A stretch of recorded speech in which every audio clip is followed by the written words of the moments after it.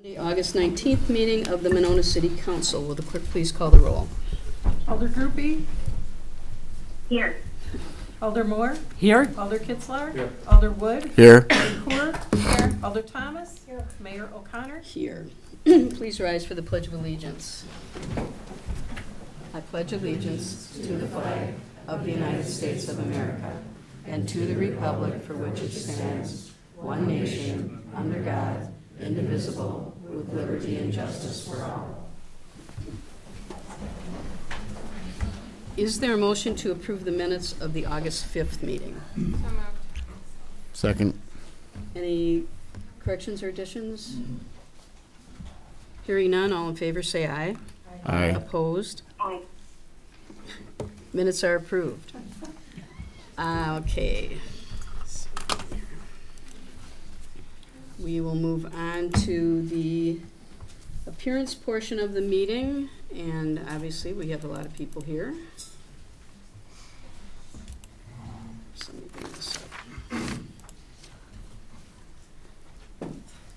Okay, so um, we've also received a lot of emails. So first of all, I'm going to, uh, I guess, read the, uh, from the people who would like to register here, and then I will read the people we've received emails from, and then we will have the people who are here to speak come after that, okay?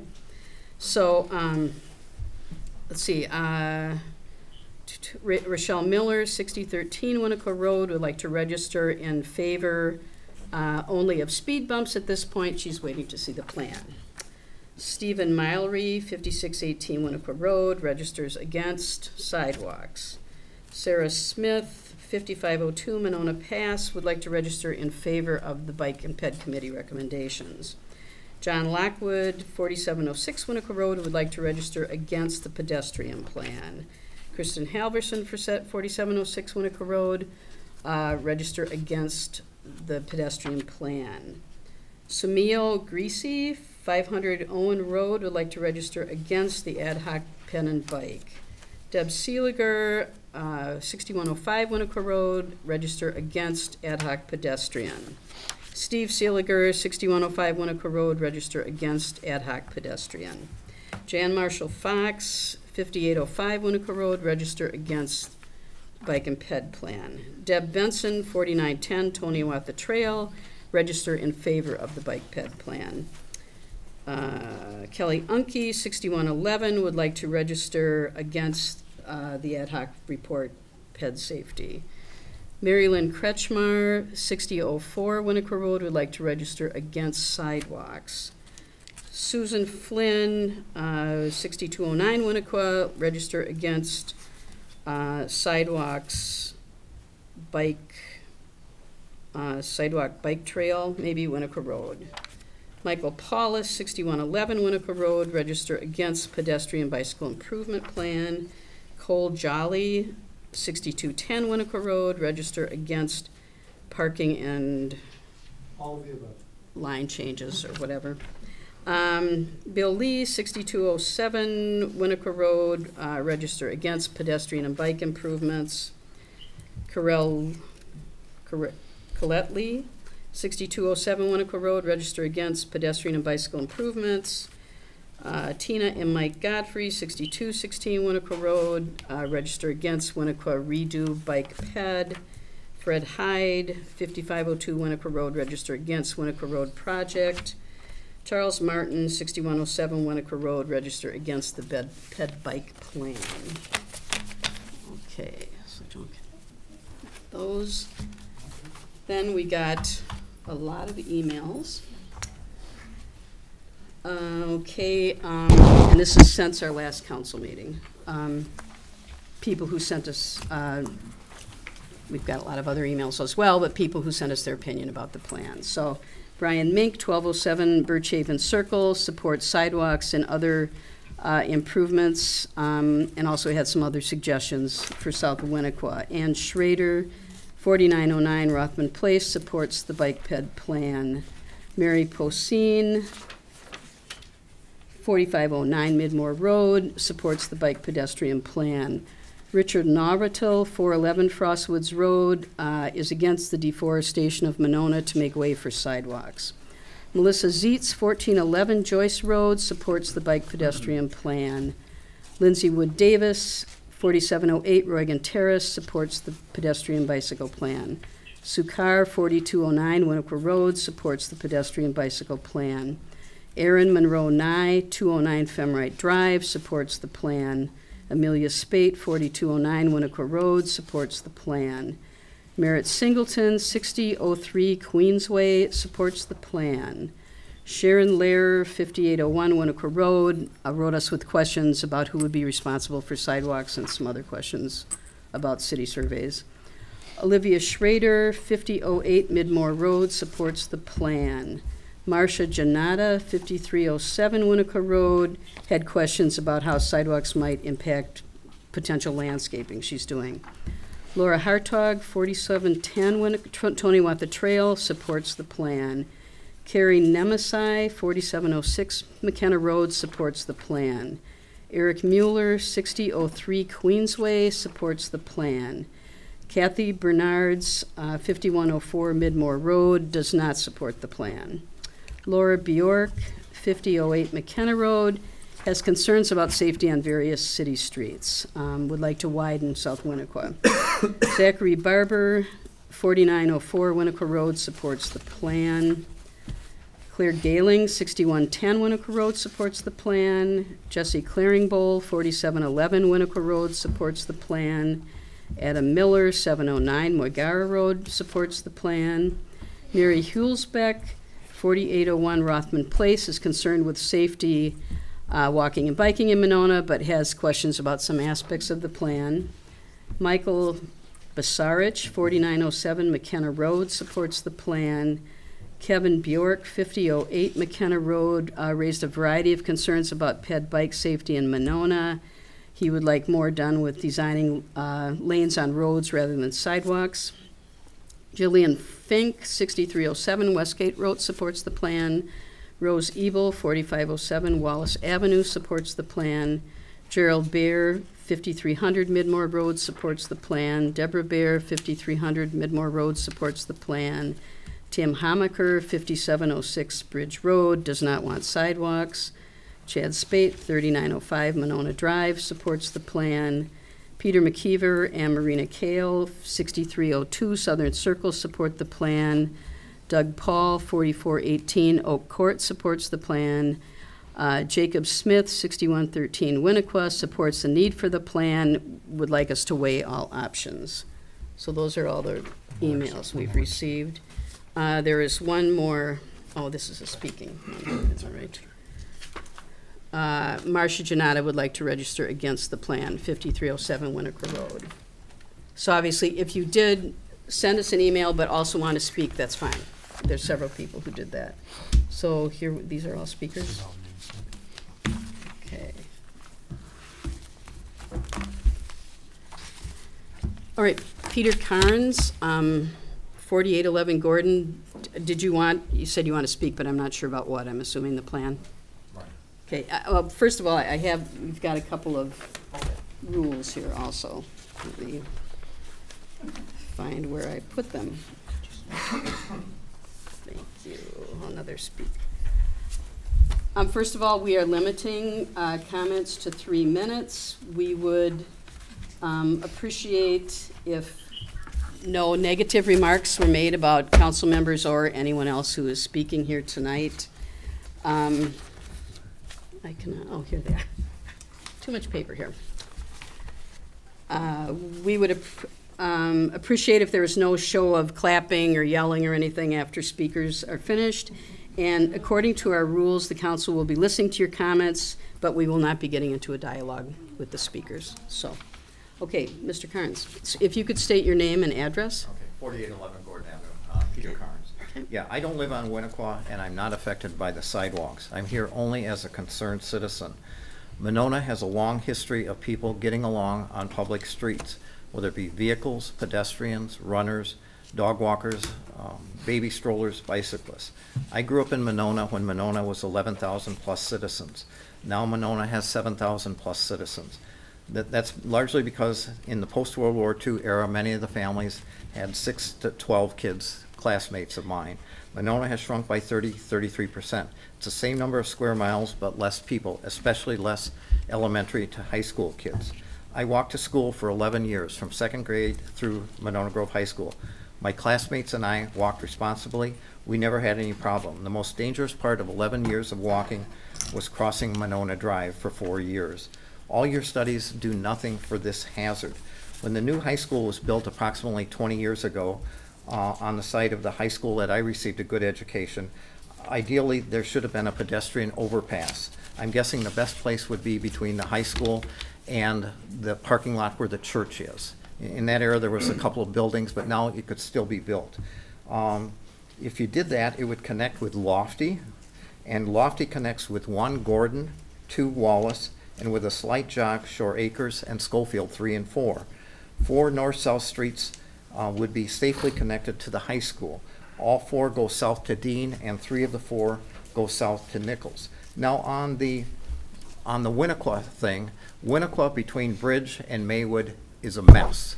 It's largely a mess when, when, you know, it's not when there's cars, not when there's pedestrians, not baby strollers, but it's really bad when there's bicyclists. You know, you know, God bless the bicyclists, but when they're running too, too wide and they're not using the bicycle lanes, they're out on the street, you know, that's bad. And then it's also bad on the hill between Healy and Maywood.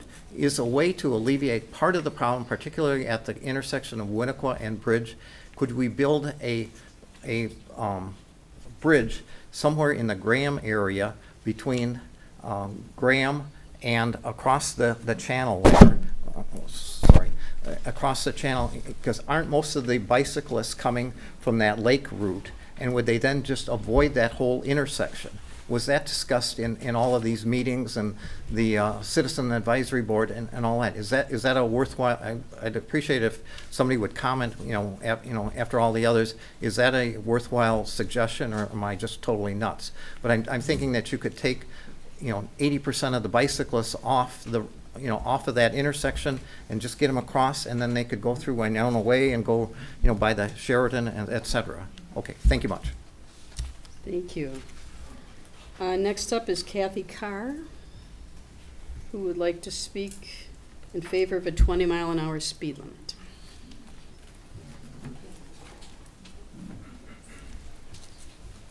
Oh, and I guess you also filled out another sheet about proliferation of sidewalks, so, on two topics. Sorry about these. Madam Mayor, members of the council, can you hear me?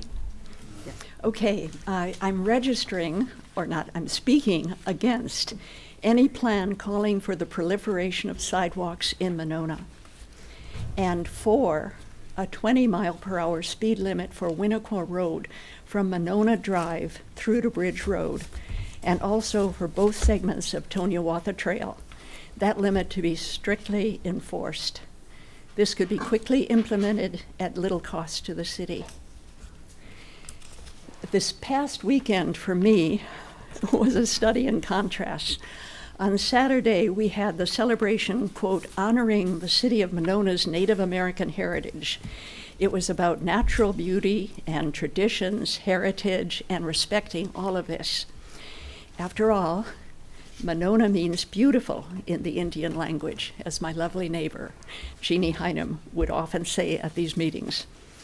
Then afterwards, I read the mayor's words in the Herald Independent. It's, i.e., South Winnequa Road, not good enough for our community. Unquote. Well, the redo of that road may have been botched back in the day. By the way, whose bright idea were those bump outs? But it is a beautiful road. Would removing trees and adding sidewalks on both sides make it, quote, good enough for the community, unquote? I might add, for our already flood prone community, we need to move to less, not more, impermeable surface in the city. Monona has to dare to be different, like Fox Point is different from Milwaukee. Realize what we have here and vow to protect it. And just one other thing elevated intersections or elevated whatever on this main ambulance route to Madison hospitals. Not a good idea. Thank you. Thank you. Next up, um, Tom Thompson, who would like to speak against, and Kelly Unke is giving you her three minutes.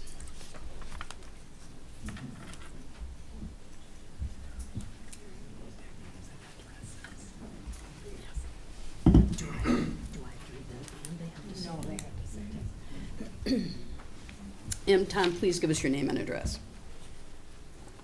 Tom Thompson, 5705 Winnequa Road.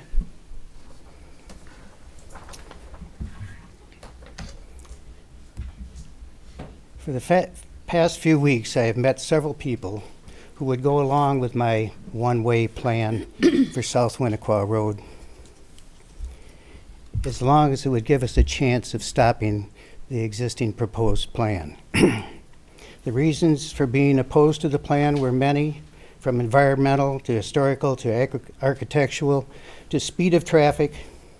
I'm sure you've heard them all. I know you've heard many of them from me. One of the statements that I've been had thrown at me is, you are you do realize that Winnequa Road is a collection road, right? Well, my answer is no, I didn't realize that, nor did I know what a collector road was. So, so I decided to find out what a collector road is. Wikipedia tells me that a collector road is a distributor road is is a low to moderate capacity road by definition which serves to move traffic from local streets to arterial roads. Unlike arterials, collector roads are designed to provide access to residential properties. An arterial road, or arterial thoroughfare, is a high-capacity urban road. The primary function of an arterial road is to deliver traffic from the collector roads to the freeways or expressways and between urban centers at the highest level of service available. After seeing those definitions, I realized that why everyone I talk to is against the plan is they want Winnequa Road to stay a collector road. As I see it, your proposal is going to convert South Winnequa Road to an arterial road. You're going to increase the traffic flow. You're going to increase the speed of traffic. You're going to funnel extra traffic down through my corner of Bridge Road and Broadway that I think we haven't seen what kind of a mess that's going to be. I urge you to consider redoing a plan that would make it less convenient to be using South Winnequa Road. Whatever choice and use you do, we all agree that safety is important, but part of it is the traffic count. I've been told that 4,000 cars a day go by our house. And thinking about it, DOT says maybe 4,000 cars are on Winnequa Road a day on the average. I know a lot of cars that are on North Winnequa Road that never see South Winnequa Road. Most of us that live on South Winnequa Road can't imagine how you could average 200 cars an hour for 20 hours. We can't imagine that 4,000 count. Unless you're talking Fourth of July, of course. And if they're building that into the average, that's totally unfair. So my argument is, whatever plan we use, let's make it so people do not use Winnequa Road to get from their homes to the Beltline.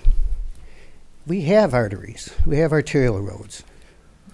You can, I, and by the way, I've been doing this now ever since my first argument to test it for myself. Going to Frostwood up to Winnequa or up to Monona Drive and out to the Beltline turns out to be one heck of a lot more efficient and turns out to be not that much longer, but faster time wise. Now, again, it depends on stoplights and the traffic jams. You're not going to want to go anywhere during rush hour in the afternoon. You're definitely not going to want to be on Broadway. You're not going to be wanting to come up Bridge Road at that time of day, especially when we have all the new residences in our new development. So again, I urge you to consider making a plan that will make it less convenient to use Winnequa Road. One other note, I uh, go to my brother-in-law's down in Cottage Grove. I pop onto his road from Cottage Grove Road to Gaston Road. Every intersection is a four-way stop. Now, you could pick up a lot of money if you wanted to catch me making a full stop or a rolling stop at the four-way stops.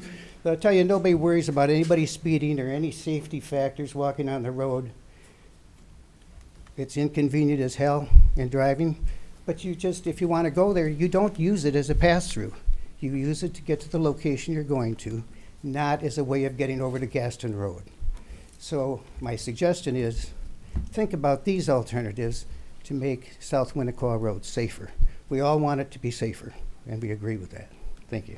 Thank you. Uh, Next up is Randall Smith, who would like to speak against the bike ped plan until additions are made.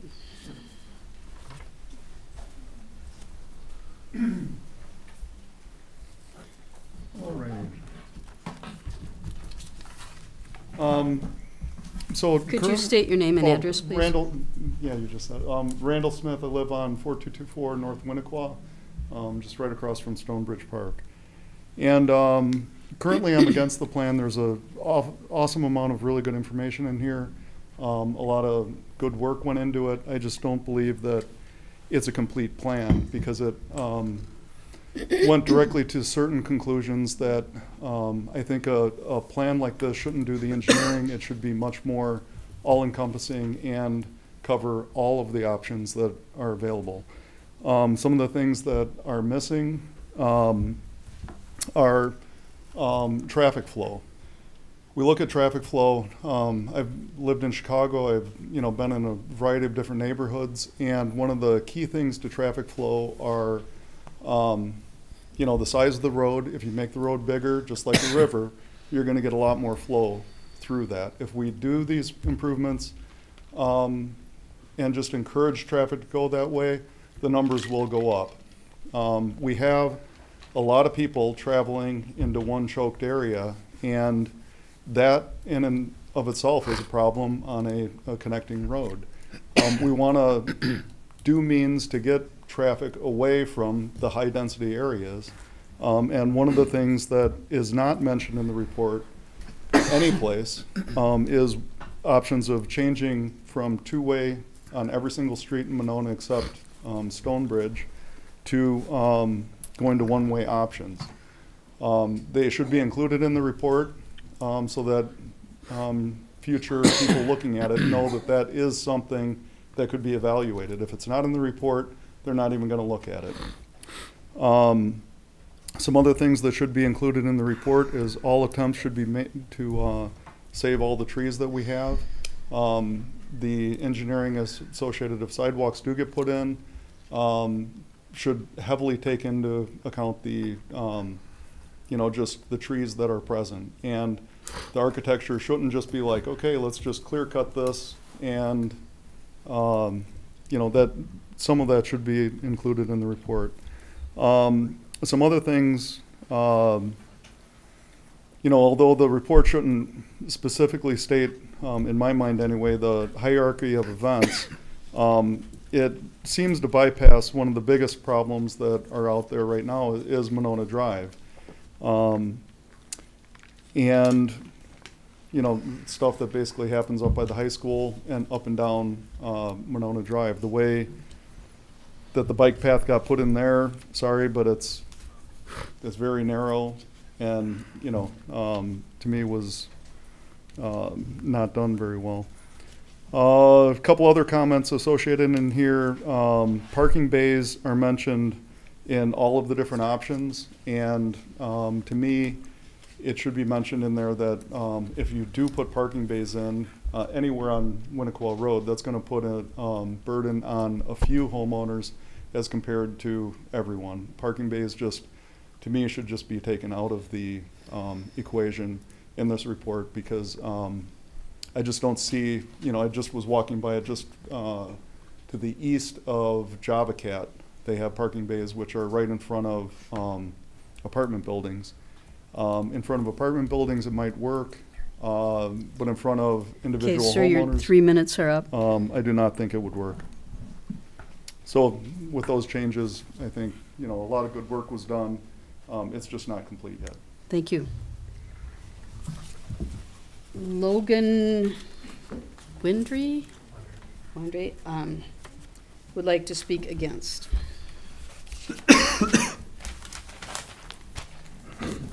Logan Wandry. Uh, I live in uh, 6217 Winnequa. So, I mean, with the amount of people that are in the room, it's obviously a contentious topic, and I think that there's obviously some type of change that's needed. My uh, opposition is it doesn't feel like we've actually looked at all of those options. Uh, a one way seems like it would end up potentially working. I think right now is actually an ideal time with the work being done on Bridge Road.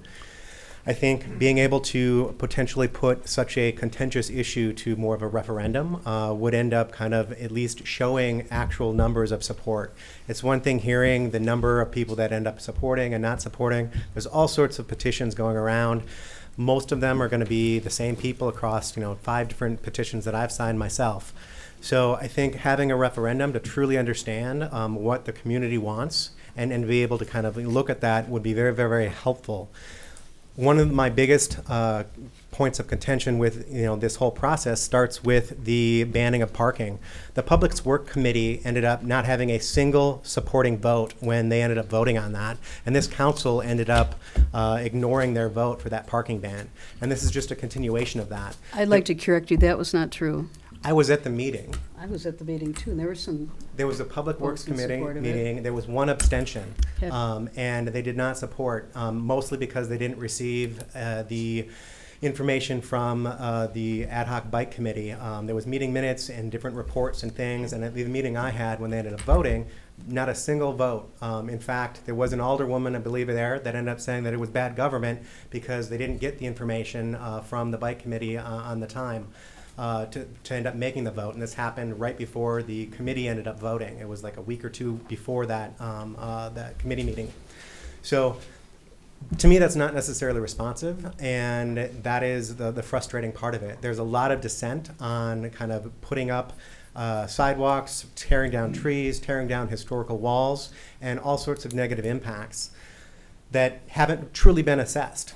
When we, that, uh, when I received the letter on the banning the, uh, um, the parking on Winnequa, the letter stated that there was going to, you know, study the impact. When people came to speak, there was no study planned. To my knowledge, there was no study that ended up looking at what that impact was. It was just a predetermined decision and an outcome that we're going to ban parking due to safety concerns. So that's very, very frustrating. Language matters, and I feel lied to that the city said we're going to end up, you know, studying this, and no study happened after that uh, parking ban went into place. So those are kind of my comments. Um, I, I uh, you know, really urge this council to end up listening to the people, listening to the dissent, and finding out through a referendum whether or not there truly is a majority support versus a minority uh, support for whatever change ends up needing to happen. And like others have said, I think speed is a problem. I would support a reduction in speed to the 20 miles an hour. I would support the one-way. There's lots of things that I think could potentially be solutions where everybody that lives in the area in Monona can end up getting behind. I just don't think the plan as it gets, is being put out has the support. Thank you. okay, thank you. Uh, next up is Mike Coord.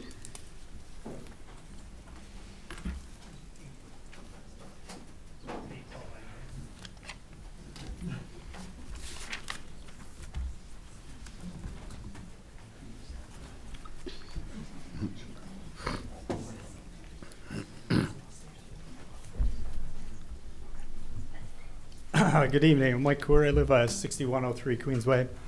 Um, I'm a Monona resident, a small business owner here in town. I have two daughters under the age of 12 who are avid bikers.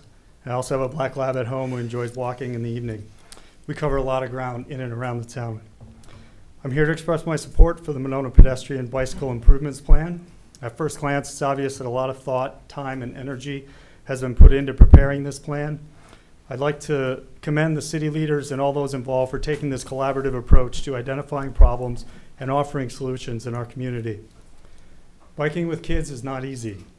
It's full of stress and second guessing. It can be difficult for kids at times to understand who has the right of way at some of our intersections. Uh, but getting through some of these challenges often leads to that much loved park or the pool or the library. Having spent much of my own youth on two wheels, I would not want my kids to miss out on the joy and the sense of freedom that comes from riding a bike in and around town. Uh, while out riding, I've noticed some improvements in our streets already. The new dedicated bike lanes on Frostwoods Road and Bridge Road have given my kids confidence in knowing that there's a space for them on those streets. As a parent, it gives me peace of mind and it gives me more time to help them focus on riding in a straight, predictable path while watching for potential hazards up ahead. This plan lays out some difficult choices ahead.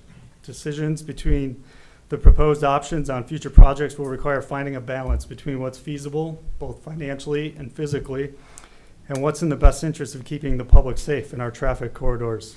By accepting this plan and using it as a guide, you will be showing your commitment to making Monona an even better place to live, work, and play. As you start to implement the plan and make some of these choices, I ask that you keep Monona's children in mind. They are the ones who will have to navigate through our decisions in the decades ahead. I thank you for your time and for your commitment to public service. Thank you. Uh, Next is Kim Gorishans, who would like to speak against. And while she's on her way up, um, we also have another uh, registration against from Shirley Robinson, 5202 Winnequa Road.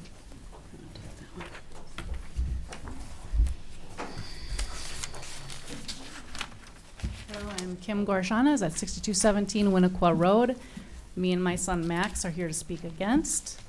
Um, I'm definitely not as prepared as all my other neighbors.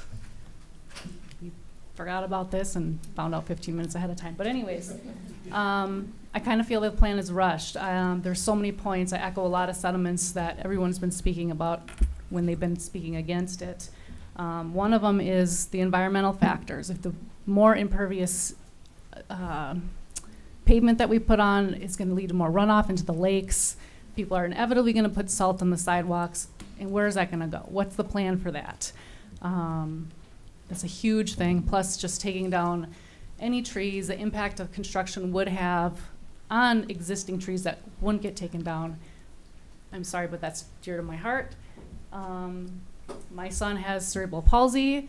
He rides his bike, he uses his walker, he walks on the street. I understand safety is an issue for kids, but we feel confident in letting him use Winnequa, and he does it all the time. He goes up and down to neighbors' houses. Um, I just think we should put, think about, slow down the process, think about other options that won't involve so much destruction of green space, um, and also widening roads. There's so much, I think you guys are from Strand? I don't know if you know, but widening roads is gonna increase the perception of, I have the room, I can speed, there's no hazards. It's just, it's just true. Um, speaking about bicycles, Philadelphia, which is a very historical city, has a lot of small little area, little roads that they can't, they can't bring plows through because it's, it's just the way the, the infrastructure is in the city. They have so many bicyclists there, but it's not conducive to bicycling.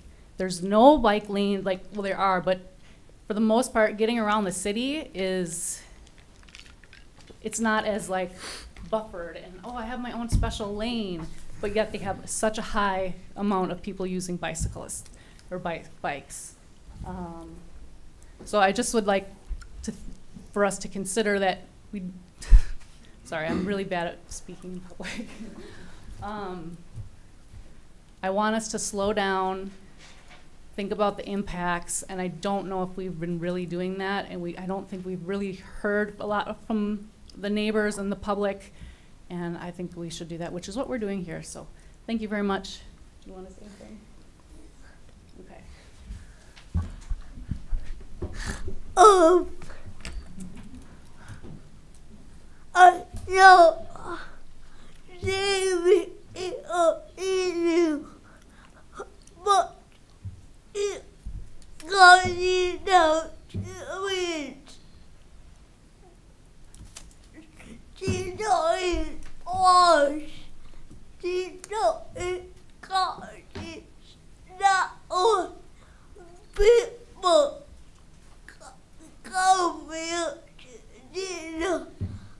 Oh.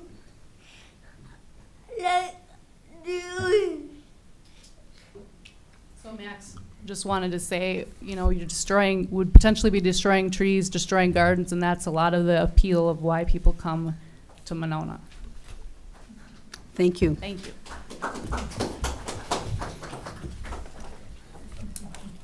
Uh, next up is Sunny Schubert, who would like to speak against.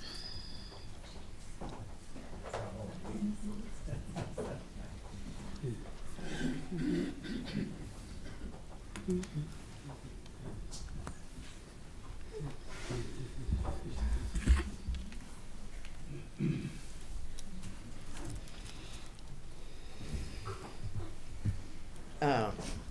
Sunny Schubert, 6107 Winnequa Road.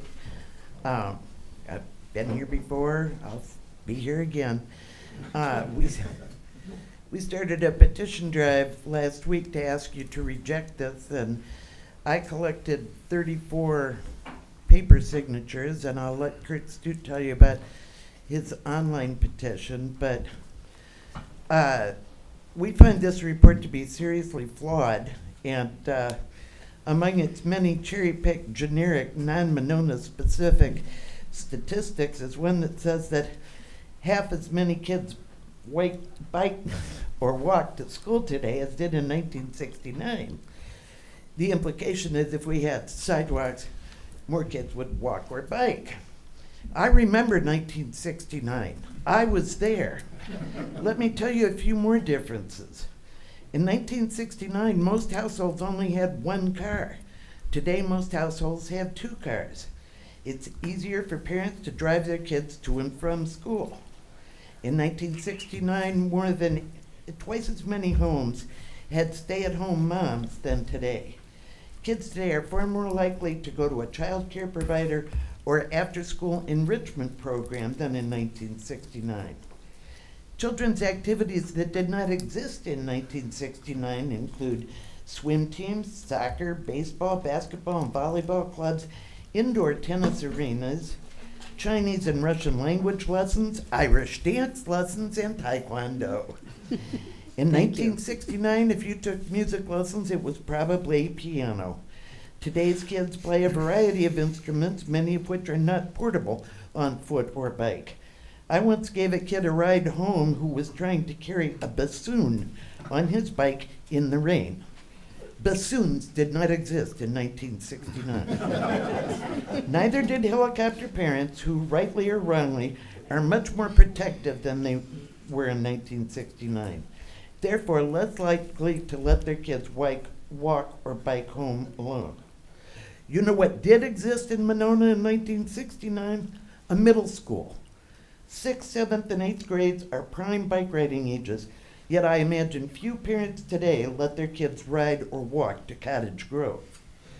But one thing the Monona of 1969 and today's Monona have in common is big trees and no sidewalks. Let's keep it that way. Thank you. Thank you. Uh, Next is Tim Casper, who would like to speak in favor. I'm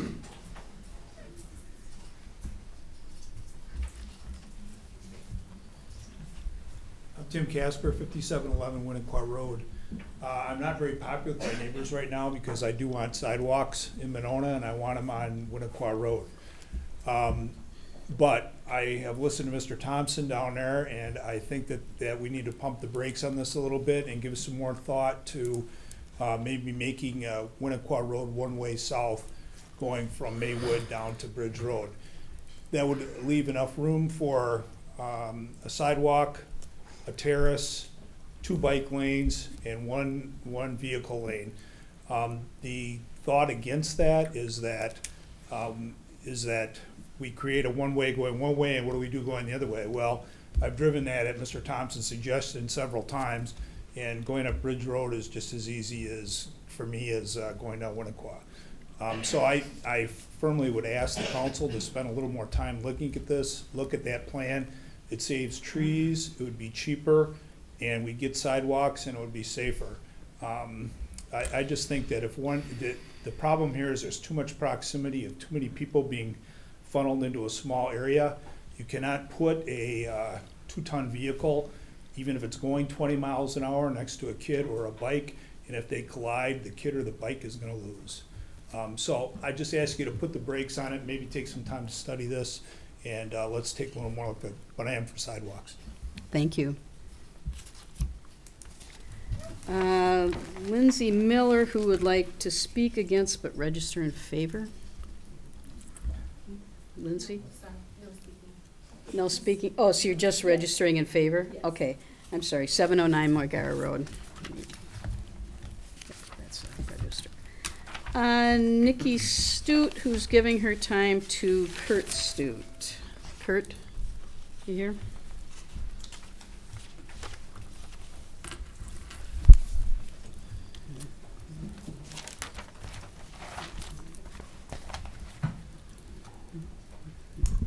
Hi, Kurt Stute, 6003 Winnequa Road.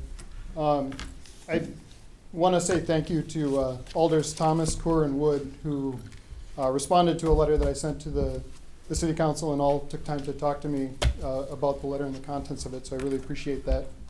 Um, I did note that the plan on the website was revised on last Friday.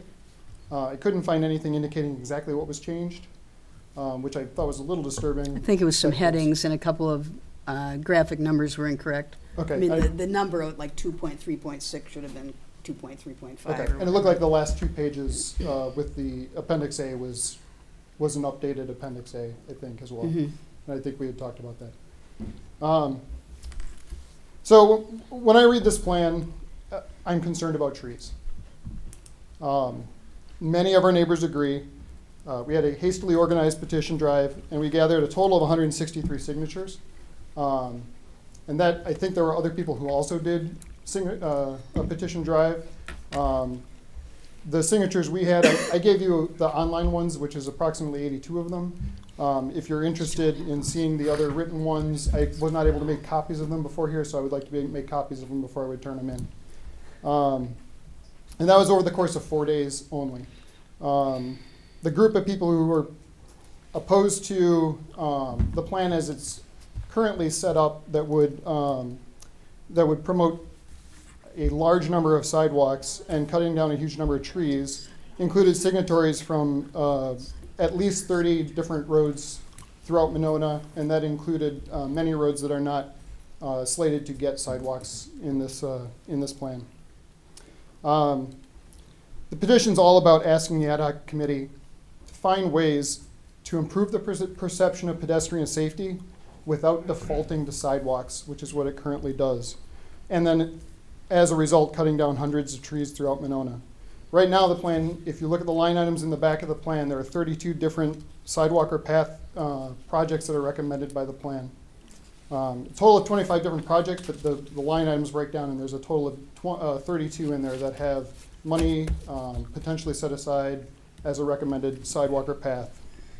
Um, some of those make sense. A lot of them aren't necessary.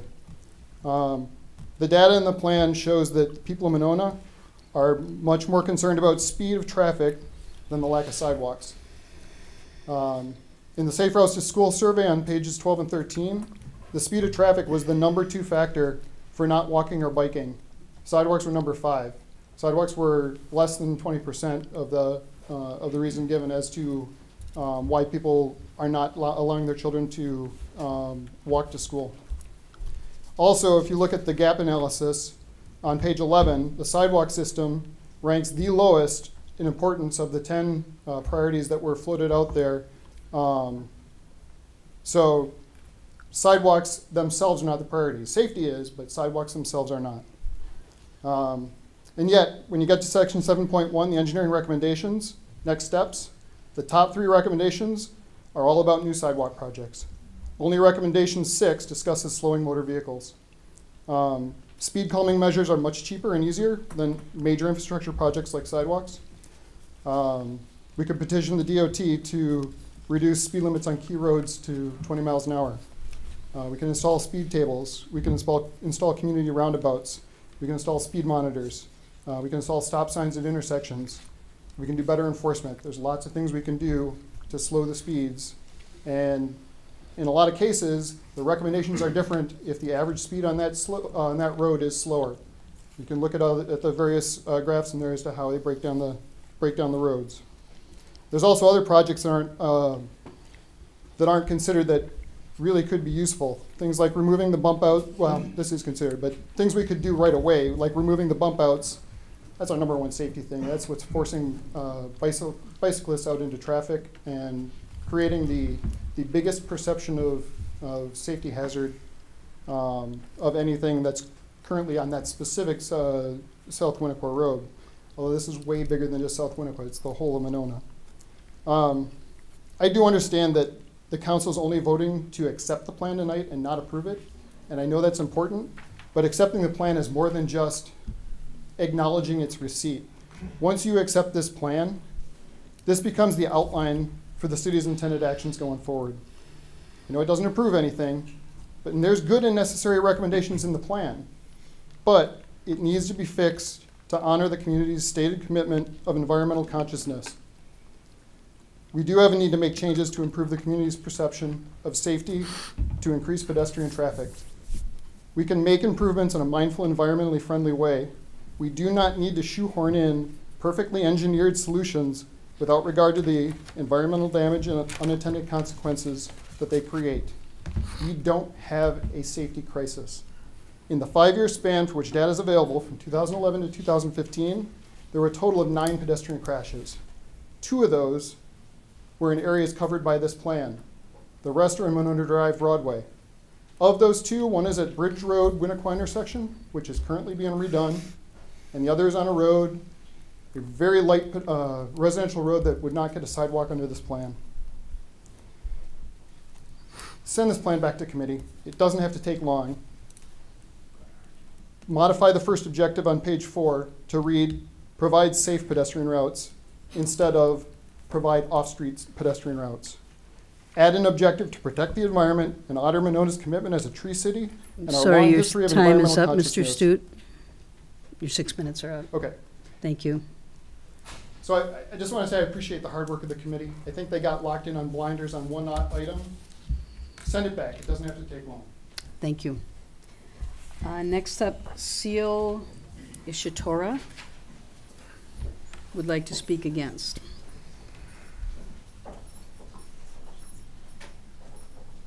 Sial Ishatava, 4704 Winnequa Road. Um, We live on the north part of Winnequa, and um, I, I don't think that the statistics are correct. Um, I've been retired for over two years, and so I'm around a lot. And I would not live here if I had thousands of vehicles or thousands of bicycles per day. Um, it felt sloppy to me. Um, I appreciate that there was a lot of work done on this plan, but it did not reflect an environmental consciousness at all. Um, I feel like it's, they're not two separate things, because if we're talking about sustainability, um, we need something called climate street guidelines that really take into account the environment. And I'm really here about the trees. Um, I'm also here about, I agree with a lot of what people said, that there were concepts that were missing in the report, including the idea that you can make a street safer by making it slower, um, narrower, tighter curves, a variety of fixed objects, um, that it would feel dangerous to drive fast, as opposed to the solution is, as someone said, more concrete, which is impermeable, tearing down trees, and I really don't trust the, there was something written somewhere, I don't know if it was in the report or in your letter, but it said many of the trees are diseased. Well, we have six very old oak trees, and they have something, but they're alive. You know, I'm diseased. You know, yeah. I, I I think that it felt like a solution. It felt like the solution was sidewalks, and then everything was meant to draw that. And I just wanted to ask one more thing that um, people were talking about um, safety, but I also think that there's a safety in having having trees. We're in a global climate crisis. And you're talking about taking away the very things that give us clean air, especially you're building all this infrastructure. The trees are absolutely what we need for our environment. Um, so I would like to see more of that. Thank you. Thank you. Uh, Next is Matt Galing, who would like to speak and register in favor of the plan. Uh, Matt Gelling, 6110 Winnequa Road. Uh, this is my first time here, so I also don't have notes. Um, but we live on South Winnequa. One of my favorite things to do is sit on my porch, my chair, drink a beer, and watch all the bikers go by. Um, I've cycled a long time myself, so it's part of the reason we bought the home. Um, I have two young daughters. One's five, one's two, and I would really like to be able to take them to the park that's two blocks away and not have to very carefully police them the entire time we go down the street. Um, sidewalks seem like a solution to that, but I like the discussion about what are some of the other things we could potentially try as well. I'm not sold on sidewalks, but I think cyclists, pedestrians, and cars need more space from each other on that stretch. Um, so I'd like to see something done. Thank you. Thank you.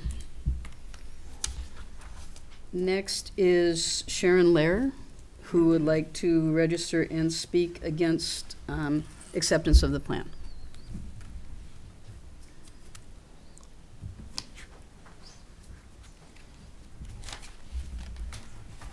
Sharon Lair, fifty-eight oh one Winnequa. Um, sidewalks do not equal safety. I would like to show you a clip from a meeting of August sixteenth, two thousand seventeen. This is from Jason Vargo, who was talking about the GIS course that was charged with identifying the unsafe areas in Winnequa.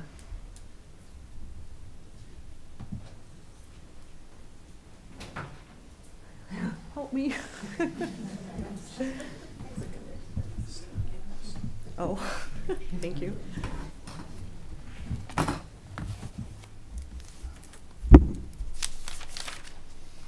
Going.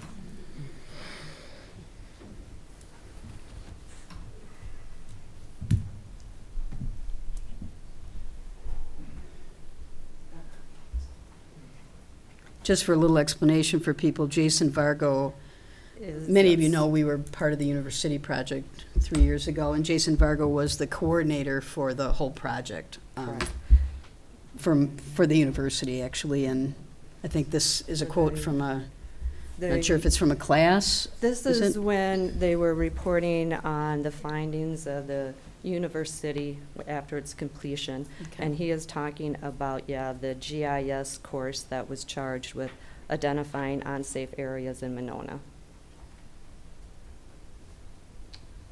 And I came in early to get this stuff all set up.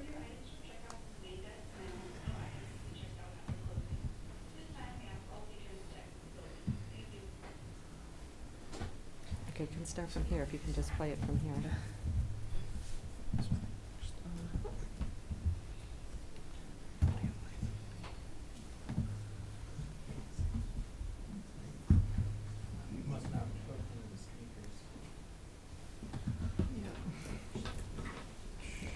Can we let someone else go while he works on this, would that, to speed things along? Sure. Uh, Let's see, I guess, David, were you doing something with the computer also? David Lehrer? Nope. No, would you like to come up and speak while they?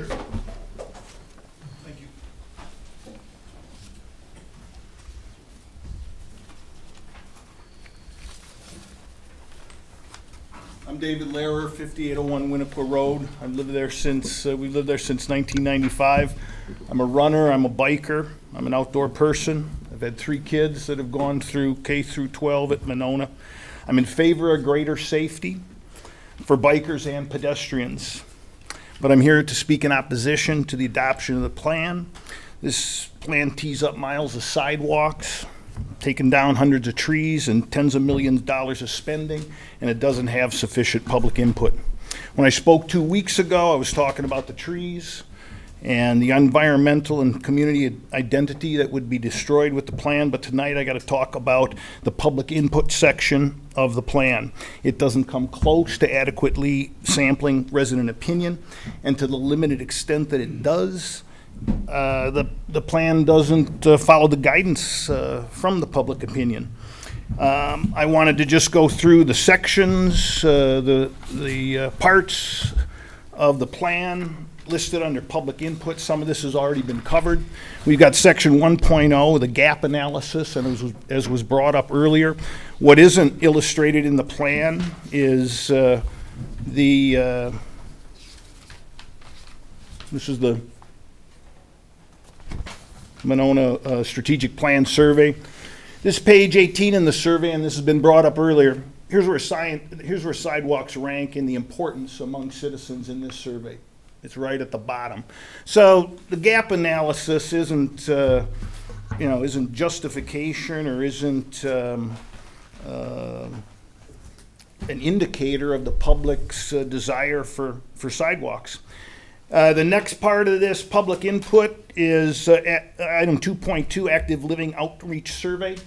Uh, and, and all of these supporting documents are on the website of the ad hoc committee. You should take a look at them. The active living outdoor outreach survey is a poll of bikers given by bikers. The respondents were uh, solicited through bike advocacy groups. They were given bike-related prizes to fill out the surveys. So it doesn't, I mean, it doesn't measure Monona public uh, support at all.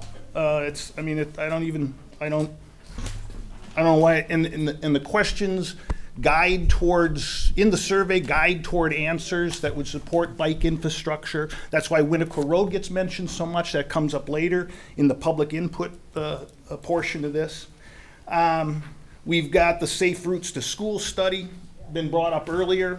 Uh, a very small percentage of parents say no sidewalks is why I don't take my young person to school on the sidewalk. Um, but I mean, that's a, a good group to survey, a narrow group, but a good group to survey.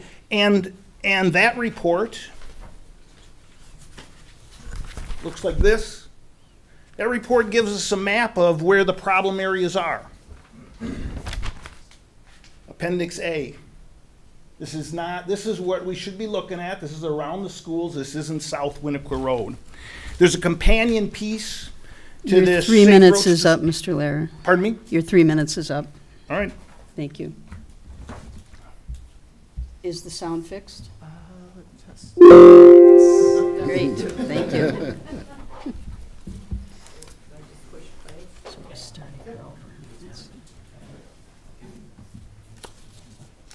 Class, they looked at different, um, they really tried to focus on evaluating the unsafe areas in existing bike ped and transit infrastructure. Um, even though a lot of the, it's interesting that the recommendations from this class really include talking about managing volume and speed on the roads to improve safety. Um, it's it's ironic, or maybe it's not, that uh, when you look at the roads that actually have sidewalks in Monona, uh, they are some of the roads where you have the most inju- injuries. So, discuss. Um, okay, that's all. That's as close as I want to touch that one. Um, so, uh, there was also a group within that health impact assessment class that looked at um, So, um, sidewalks do not equal safety necessarily. And also, Need one more thing, please. Um, I need to go back to right here. The current condition of sidewalks currently in Monona is not up to par. I don't know how the city of Monona is gonna take care of all these new sidewalks when the current sidewalks are not in good repair. Um, if you walk along Nichols behind the park, which should be a major priority according to this report, this is what you'll find all along. So I've been told that property owners won't be responsible for the installation of sidewalks or the maintenance, but somebody's got to take care of these sidewalks, and this is what we have currently.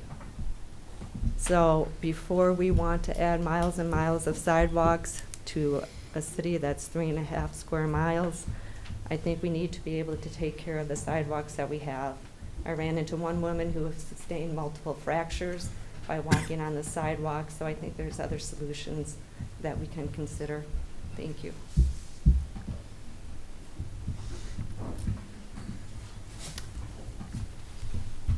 Thank you. Next is Julie Burns, who would like to speak in favor.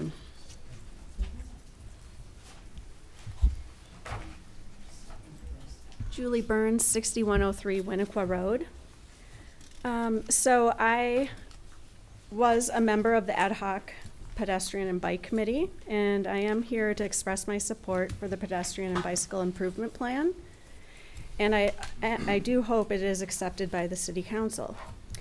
My motivation to serve on this committee was and is the safety of my children. I have experienced several terrifying close calls with vehicles almost hitting my children on South Winnequah Road. And the thought of losing either of my children is horrifying. The goals of the pedestrian and bike improvement plan are important. They are to build safe and convenient pedestrian and bicycle accommodations that connect Monona neighborhoods to community destinations such as schools, parks, city buildings, restaurants, etc., and the greater region. The other goal is to ensure that the treatment of all users of Monona's transportation network is equitable and that their well being is in mind when we plan our projects. When we think about equity, or when we were thinking about equity, we were talking about our children, people with physical disabilities, our aging citizens, people who do not drive or do not have a vehicle. I believe the presented improvement plan is well thought out and sound in its advice. The committee started reviewing all existing data and research in February of 2018, and over the course of the next 18 months, we spent many hours at home and in meetings reviewing each of our frequently used streets as possible and possible safe improvements. The result of our research and work does include recommendations and sound engineering recommendations to create a connected network of sidewalks and bike lanes, as well as to implement traffic or speed calming measures that will allow people of all ages and all abilities to safely navigate from each side of Monona to the other. Um, you know, since being on this committee, I know, as some other people have said, I, I haven't been very popular with some of my neighbors. And people said, hey, you moved in here. You, you know, if you think the street is dangerous, don't use it. Well, I live on this busy street and I have two young children that are four and seven. We must walk on, the on our street to get to places such as the bus stop, going to the beach, going to our friends' houses, to the park. I don't want to have to pack my children into a car every time that I want to go to the beach or a park or a friend's house. Um, no one has ever died there. There hasn't been a major accident. One approach to safety is waiting until someone is killed or seriously injured before addressing a problem. In my opinion, a far better approach is to identify hazards and mitigate them before my child or your child is killed or seriously injured. Your three minutes are up. Thank you. Thank Thanks you. for considering. Uh, Next is Craig Osweigan, who would like to register and speak against. No, I don't. I, I'm against. You're just registering against? Okay. And he is 6008 uh, Road. Okay, next is George Lightburn, who would like to speak against.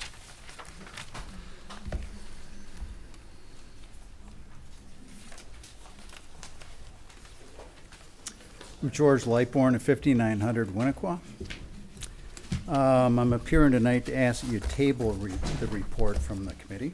Um, This is not a position that many of my neighbors and I relish. it's negative, and that's not necessarily who we are. Um, It's never, un- uh, it's never comfortable disagreeing with our fellow Monona citizens, especially people that put in the time to work on this report. And the- the report, quite frankly, has a lot that we can agree with. And yes, we've been told that receiving the report is only a first step. Don't worry, we're told there'll be many more hearings and presentations, so get, buckle up, get ready. Um, Before anything specific's done. And I'd like to thank the mayor for the letter uh, that you posted this week. That was a good first step. There's been a woeful lack of good communication on this project, which I think is, and, and my concern overall um, is this is tearing the community apart in a way that's not healthy. It's incredibly unhealthy. Old and young, people with kids, people without kids, it's not a good thing. Um, so we're not comfortable being here, but we need to be here because we're skeptical, because we've been told that sidewalks on Winnequah Road are a done deal by people in this room. Um, So, but let me be clear. We want, we, the neighbors on Winnequah Road, want a safer Winnequah Road. That's not what we're, we want all the children to be comfortable, all the parents to be comfortable. Um, But we wanted a safer Winnequah Road too in 2006, the last time the road was redesigned. Um, At that time, the residents of Winnequah Road were thanked for our input and were told that we'd grow to appreciate the bump outs. Honest to God, we were told that even though they seemed kind of odd, that we'd like it. It turned out to be an enormous mistake. I think we'd all agree on that. The engineers were wrong. The bump outs do not calm traffic, they only serve to make walking and biking more hazardous. Engineers, don't listen to this, fellas. Engineers and engineering standards are useful, but they should never be determinative, whether they're called from, calling for bump outs or sidewalks. So I'm requesting that you table this report that calls for a network of connected sidewalks. I don't believe we need a network of connected sidewalks to thrive as a community. Instead, let's get to work making Winnequah Road safe for all. Yes, let's eliminate the bump outs, but let's also work on a solution that's been hiding in plain sight for more than a decade. Let's get serious, really serious, about slowing traffic on Winnequah Road. That's one simple solution that would lead to safer roads and no lost trees. Thank you. Thank you. Next is Claire Galing. Is Claire here? Thank you. Who would like to register and speak in favor? Hi, my name is Claire Gelling, and I li- live at 6110 Winnequah Road. Um, I'm in favor of the safe use of South Winnequah for cars, pedestrians, and cyclists, and I believe that the roadway is not safe for these groups today. Um, Generally, I'm in favor of sidewalks and improved cycling infrastructure. So as a community, uh, all of us in Monona pay taxes um, to maintain South Winnequah Road. And it's right and necessary that everyone in Monona can safely access this important part of our community, not just able-bodied adults driving cars. Um, trees and beauty are very important. They're very important to our community. They're not more important than the safety of people. So finally, I believe that Monona is able to make an evidence-based decision um, informed by relevant professional expertise.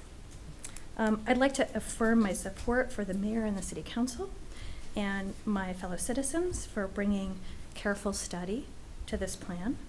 And I want to, the city to adopt a plan that, informed by community input, is 100% aligned to current civic engineering standards. Unlike the last time, when an engineered plan was kind of tossed out into the trash at the 11th hour, and instead, we got bump outs. So I think that everyone would agree that standards are created by experts for good reasons, and that experts have professional expertise. You know, if I wanted to buy a new car today, I wouldn't be able to buy one without seatbelts or airbags. And I wouldn't be able to argue that there hadn't been an accident in my particular new car, therefore, these safety regulations were not needed.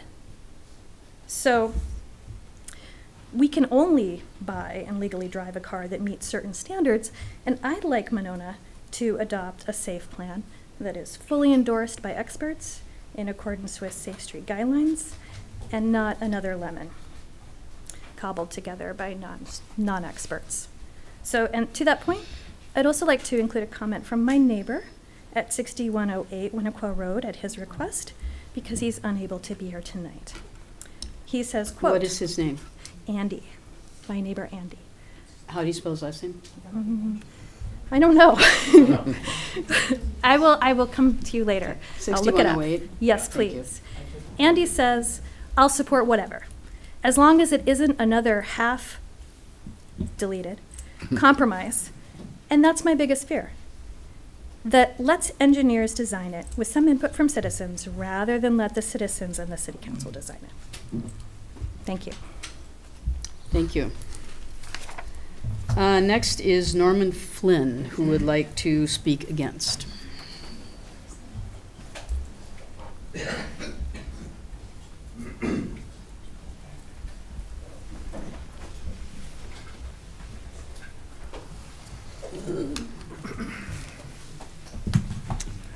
My name is Norman Flynn. I'm at 6209 Winnequah Road. I've been a resident of Monona since 1967.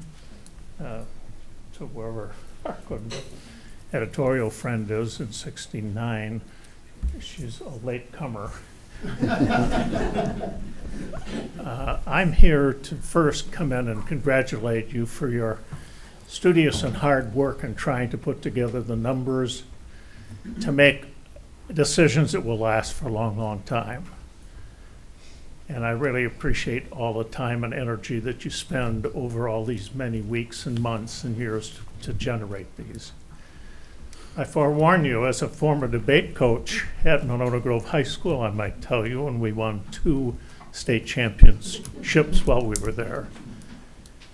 If you don't have hard evidence, or if there is not a proven need, there ought not be ravaging changes or expensive changes. And what we do is what the mayor has done, and I would do if I were there, point task force that goes to work. They hire an, a company that has a database that's so deep that the most minuscule problem that you might see will have all kinds of data covering it.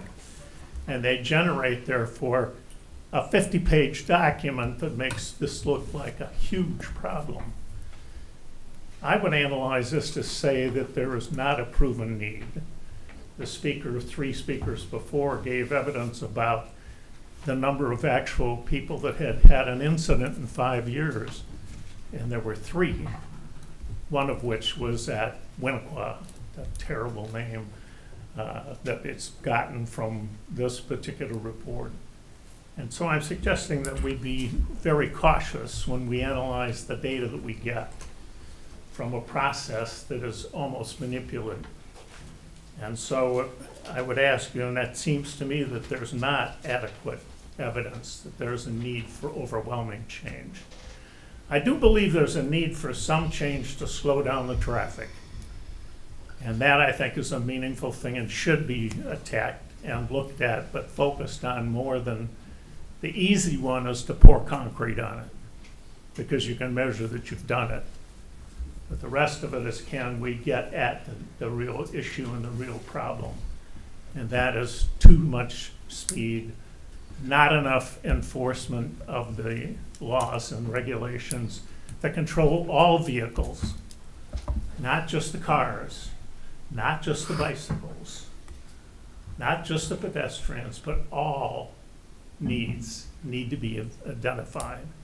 and found ways in which it should be analyzed. I have one last point, and I'll be, I think, within the three minutes or very close. You're a couple seconds over, so good Okay, finish. the- The one last point is we did circulate a petition through the Winnequah neighborhood. I have a copy of the signatures there. It's uh, well over the majority of the households that responded. And I'd like to leave that with the clerk so that the council Okay. can see what names and the people And that is are this there. the same as Sunny's petition, or is it a- that at a different? It's not mine. Okay. Okay, sure, bring it up. I'm not the only nutball. Thank you, Mr. Flynn. Godspeed for you and all the work, good work you do. Thank you. Uh, Next is Ben Redding, who would like to speak in favor.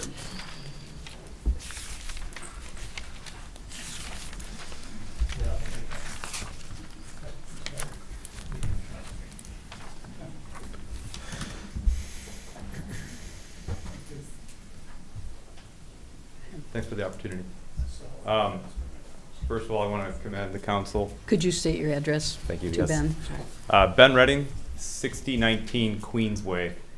Um, Thanks to the council and the mayor, I thought that the uh, report, um, and really just even having it in general is pretty brave. I've lived here for, I think, a while, since 2006, and uh, have been lightly politically involved enough to know that sidewalks are a political swear word in this town.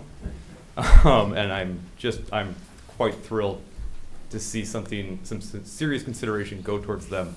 And I recommend passing or approving, excuse me, this plan. Um, you know, like many people here, I love the trees here. It's why I moved here. My introduction to Monona was driving down South Winnequah Road. Um, I love oak trees. I ultimately bought my house on Queensway because I live on top of a hill. I had two oak trees. I had sadly had to cut one down because it was sick. I had it assessed by an arborist. I tried to save it. It was going to fall on my house.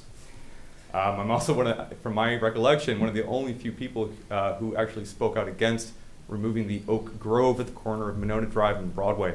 Um, now that was private property, and there was not a whole lot to be done when they turned that into a parking lot for a Qdoba, but it, I felt it was tragic, um, and perhaps the planning committee could have done something more. I'm not sure, uh, but it's done now. All that said, I also am the uh, father of two kids, like many of the speakers in favor. Uh, two small kids, 11 and 7.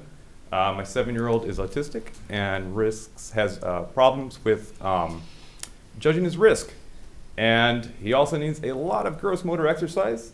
And given that he's high functioning, we bike a lot. It's wonderful. It helps ease his moods, control his temper.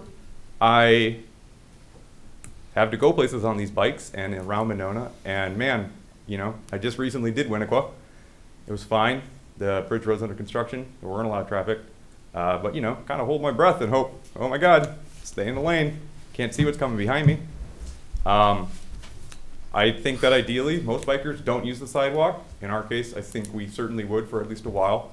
Um, but, I, you know, I also work in surveying and mapping, and I kind of have an eye for trees and where things are. And man, I tell you, there are really, in my, uh, you know, non-engineering uh, opinion, quite frankly, not a lot of trees nor gardens that need to come down on South Winnequah in the 60-foot right-of-way uh, on the west side, and that right-of-way is public property, um, not private property like where the Oak Grove was on the corner of Monona Drive and, and Winnequah. Um, sorry, Broadway. Um,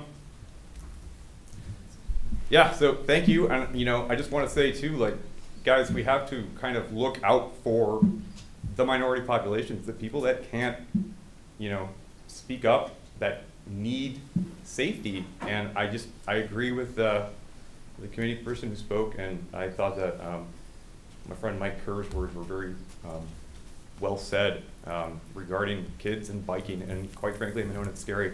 I'm not a helicopter parent, and that's a really hard thing to do with an autistic kid. Um, but I still get freaked out, and I want my kids to bike. Thank you. Thank you. Uh, Next is Jimmer, who would like to speak against. If you could tell us your last name too, Jimmer? I don't know. I don't know about Huh. it. It's uh, Jimmer Unick. I live at 6106 Queensway. Okay. I'm finding out a lot from this meeting tonight that people on Winnequah really care about these sidewalks going in. Um, I happen to live quite a ways from there. probably eight, six, eight blocks, let's say. Um, I'm not a fan of these sidewalks because I've lived here since 2001. I've had a dog. I have a five-year-old daughter. I go out for two to three, four walks a day. Do you want to know how many times I almost got hit? Zero, because I like know what I'm doing. I see the ad hoc committee as people that moved here to Monona. They bought their houses on the lake or across from the lake. Then they have kids. Now they want to make it all safe. I see that. I want safety for my child. I wish my daughter could walk to school. Unfortunately, it's not because of sidewalks. It's because I'm worried someone's going to steal her. I think we need to do something that's safe, but at the same time, it's uh, it's not right to just jump into this. And I'm more concerned about the economic impact. As a realtor, I sell houses. People choose to move to McFarland because they can build a $400,000 house and their payments are the same as buying a $300,000 house in Monona because of the tax base here. If you keep spending this money, our tax base is going to keep growing every year, and pretty soon you're pricing people out of being able to afford in Monona.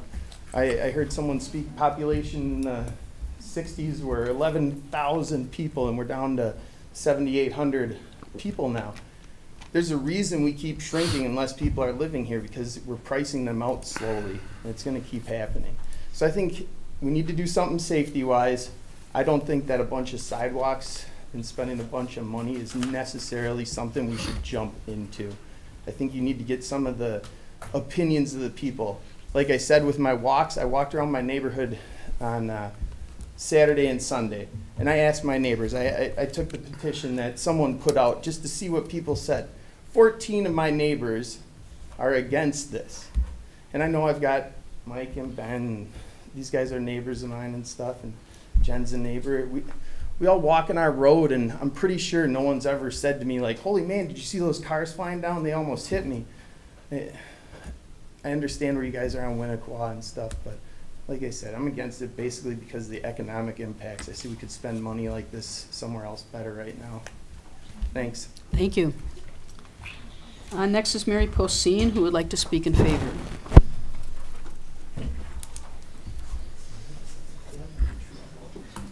Hi, I'm Mary Pacine. I live at 4509 Midmoor Road in Monona, um, and I was on the ad hoc pedestrian bike committee. I've lived here since, I don't know, must be 1992, something like that. My children are grown, so I don't live on the lake and I don't have small children. Um, a couple points I'd like to make, and I'd really, um, some of the things that have been said here tonight by this young woman here, I'm sure, sorry, I don't know your name, but I really appreciated what you had to say and what Katie had to say on the committee. Um, just some points I'd like to make. First of all, I'm a cyclist. I commute to my job at UW-Madison most days, uh, 15 miles round trip from my home on Midmoor Road um, down Winnequah Road. Um, I am also a motorist. I drive my car in this community too, so, uh, and most of, most of tho- those who cycle around Monona are both. We're not just cyclists.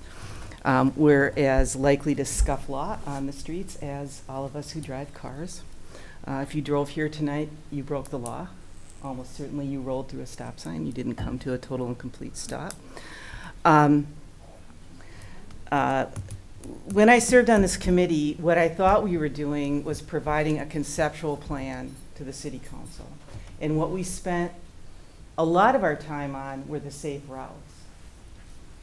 We didn't spend that much time on the engineering piece, and we didn't spend that much time on South Winnequah because we're not engineers. So I happen to be educated in civil engineering. That was my undergraduate degree, but I am not a licensed design engineer, and I certainly have no expertise in transportation design. And so, uh, what I really hope that we do uh, is is really listen to the experts on this, and that's what we will be doing. I'm sure that's what the council will be doing as they move to look at different aspects of Monona and think about uh, implementing um, safe passage as part of this, uh, of of our plan in Monona. Um, I think that we're hearing a lot of armchair engineering surrounding Winnequah Road, and it really worries me because that's where we got to where we are in Winnequah Road right now. Um, So please, uh, when, when engineering design is properly done, um, engineers are given They're given a challenge or a charge or a problem. They're given constraints that they have to solve that problem, and then they bring alternatives to that problem. And so we need good design engineers that will work with us on a solution to Winnequah Road. I'm not here to advocate for any particular solution to Winnequah Road. I will tell you as a cyclist that that road as it currently stands is extremely unsafe. It feels unsafe. It, I, I ride all the way into the heart of urban Madison, to UW Madison, uh, every day, and there are three spots that scare me, and Winnequah Road is one of them. The other two are uh, intersections in the city of Madison that need some work. But, um, and the reason it's, it's really terrifying for cyclists is that road is not wide enough to accommodate all of the uses on that road. Because what happens is, you have these cars that are whizzing by you at sometimes like 18 inches. You know, and, and there's nothing you can do. At the intersections that I'm worried about on my commute to work, I have control over what's going on there. I know how the cycles work. I can ride defensively. You know, I can make sure that uh, I don't die in one of those intersections. I cannot defend myself against getting run off the road or getting hit from behind. And if you start Googling around, you'll find that a great deal of cyclist deaths are from getting hit by behind. Mary, So- I think you're All right, at your thanks. limit. Thank you. Uh, David Schroeder would like to speak for informational purposes only.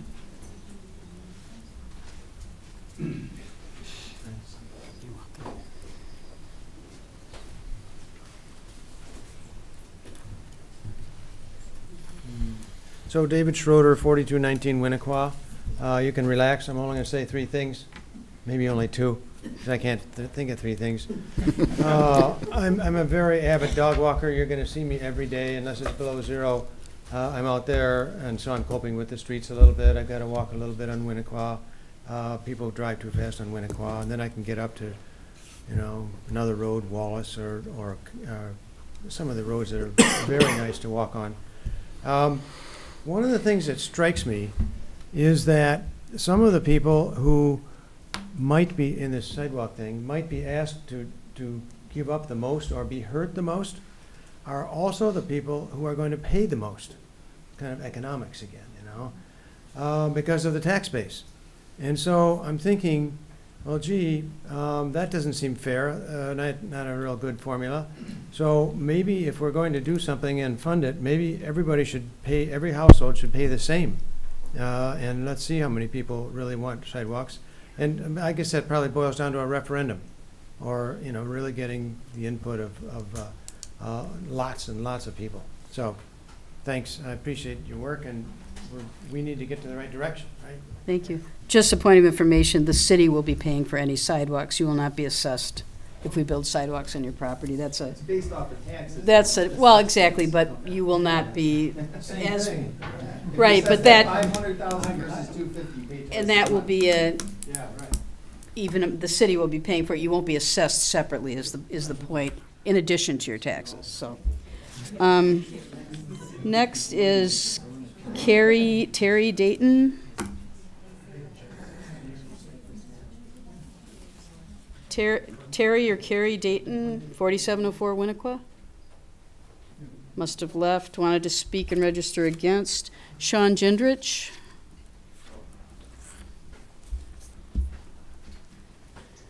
Hello, this is my uh, first time speaking at City Council. I'm Sean Jindrick. I live at 601 West Dean Avenue, which I think is important for this conversation. We have one of the few major sidewalks in Monona. And by major, I mean we have one. so um, I'm in favor of this, and I just want to uh, maybe give some insight from the perspective of somebody who has a sidewalk in Monona. Um, we have folks who come to our street with their three-year-olds where they're scooting their bicycle without any pedals when they're learning how to ride. Uh, we have elderly that come to our street because they have walkers, and it's one of the safe places they can go. Um, we have mature trees. Uh, you get those by planting trees, if anybody wants to. Um, so I really just wanted to come up and um, talk about this as we're looking at this as what's going to happen tomorrow. And hopefully, what we're thinking about is the long term of the community. And I applaud this plan because it really is just a vision, right? It gives some parameters about how we would change Monona over a long period of time to adapt with the culture of who we've become. We walk more, we bike more as adults. We're struggling with obesity. I should bike more. Um, and when I go for walks in the community, I like being able to walk on our street, and I like to go further than that too. I have friends all over town. I walk on Winnequah. It's not very good for my stress levels. I have high blood pressure. And hopefully, I'll go having a beer with my friends who are opposed to the sidewalks versus when they're zipping by in a car. And I guess that's all I had to say. Thanks. Thank you. And our final speaker is Chris Bondurant. And does anybody else want to speak? Okay. And he would like to speak for informational purposes. Okay. Okay, uh, my name is Chris Bondurant. I live at 6209 Midwood Avenue. And some of the things I've noticed just with the construction going on, we have twice as much, um, Midwood runs parallel to South Winnequah. So I have a lot, I have twice the traffic now going by my house now. So the one way I think is not fair to me, because all the houses from Frostwoods down will be coming down Midwood to turn left to get around back home. So one idea is how about having a double bike lane one side, no bike lane on the other, one way for bikes, and then there's room to walk, and the bikers can come back up on Midwood or whatever, instead of inconven, are we inconveniencing more drivers than bikers? A lot of the bikers we have don't even live in Monona. So I mean, that would make it quite safe. We could get out a lot of paint and paint the bike lane where the bump outs are so people understand. Follow the yellow road, right, or whatever, whatever color you want. We don't need to take anything down. Any trees that die, nobody can plant another tree. 50 years down the road, when we need to do the road, we'll have the room. People will know. Uh, because I think that is a terrible idea of having a one-way road. Because, I mean, this is a thoroughfare for people with automobiles. That's what it was designed for. Bikers need to learn to work their way back into it. You know, how do we accommodate you, not how do we change everything for you? We have enough room. Put it on one side, paint it a color that everybody knows, make it one way for bikers. I think, and I think that'd be a heck of a lot cheaper. Because I'm with the uh, other people with taxes. I'm ready to move right now. My taxes are way too high. I grew up in Winnequah, or in Monona at 5107 Winnequah Road, worked at Chapco through high school. I know Winnequah Road back and forth all the time, skateboarding, biking, whatever. Eric Fox, they rolled by your house a million times, okay? I grew up two doors down from you, Yep. the mayor, okay? I have three kids that are grown up. Yeah, it scares the hell out of me sometimes, but that's why I hold my kid when I'm crossing Monona Drive. Yeah, it's scary. Okay? Take care of your kids. You know, you don't send a seven year old kid out on Winnequah by himself. You just don't. But what road do you on in Monona? Right? Who goes anywhere near Monona Drive? I used to live behind Monona Grove High School, and we'd have to cross Win- or Monona Drive to get my kids into school at IHM. I tell you, you know, that was a lot of scary days. My kids are, you know, they're 15, 16, 17 now, 18, whatever. Uh, that was, you know, I had to be on my toes, but I was. You know, I stood there. I made sure the cars knew what was going on. And as far as getting trucks off the road, uh, truck roads have yellow signs. Done. Push them up on Bridge Road. Push them up to Monroe Drive, down Nichols Road. There does not ever need to be another dump truck on Winnequah Road. That would make it a heck of a lot safer. Because who's making all the traffic, and who's making all the noise, and who's racing back and forth? Dump trucks. Okay? That's an easy fix. Well, here, how much money have I spent on paint? I think your Right? three minutes are up. Okay. Thank you. Thank you. I had one further, uh, Matt Cushman and Heidi Brown of 812 Owen Road uh, wanted to register against. So does anybody else want to say anything? Did you want to speak? Could you fill out a, I guess you have a form? I did fill out a form, and I said I didn't want to speak, but I do want to. Oh, okay. Okay. Do you want to give us your name? Uh, Phil Lee, 6207 Winnequah Road. Been a resident here since 1976.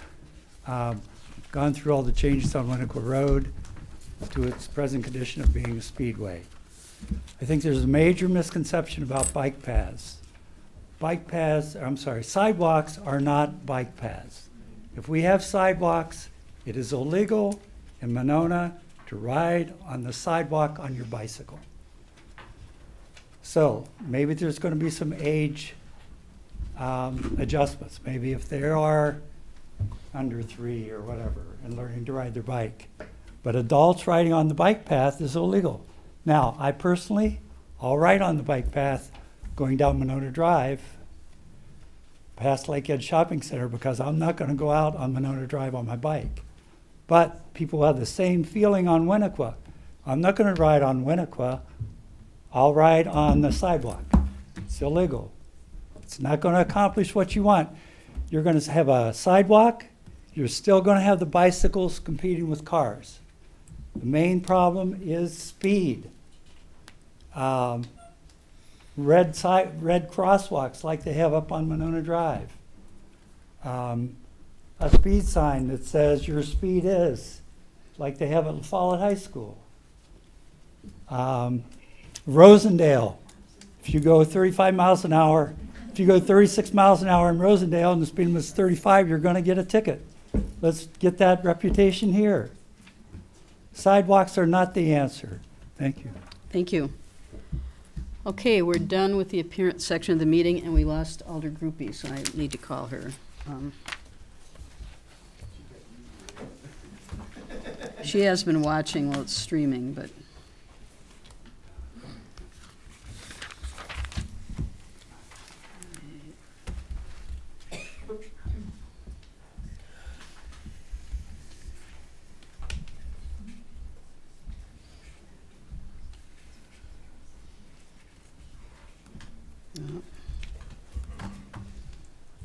Try it again.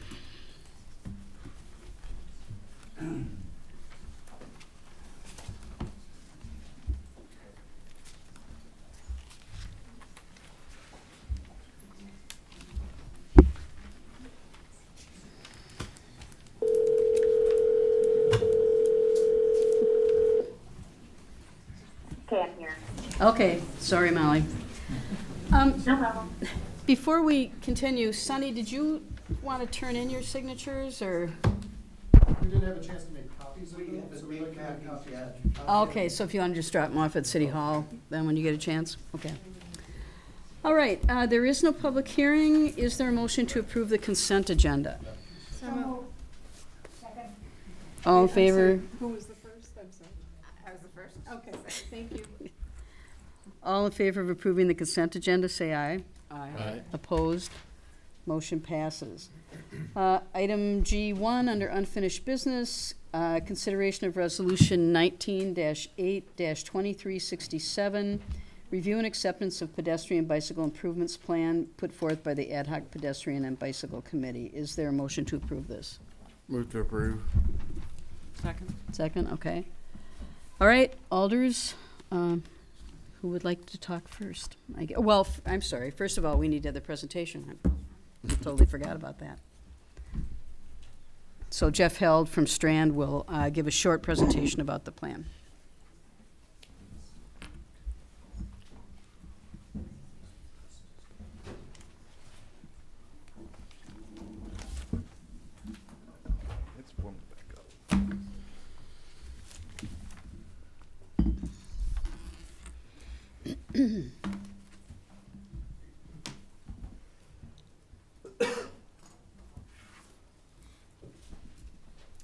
Okay, uh, thanks for having me tonight again. Jeff Held with Strand Associates, worked with the ad hoc committee on the ped and bike plan.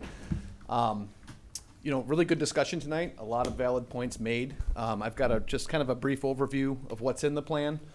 Um, I did want to mention a couple of things. Um, There are, there's no recommendations for any street widening. Um, That's not uh, part of what came out of the engineering portion of it. Um, In fact, there could be alternatives for narrowing if there's a full reconstruct on the table down the road. Um, I had nothing to do with the existing bump outs. I want to say that. Um, and uh, I guess that's probably that's probably all. So the topic tonight, or the, or the agenda tonight, is to talk a little bit about um, what's on the council's agenda tonight.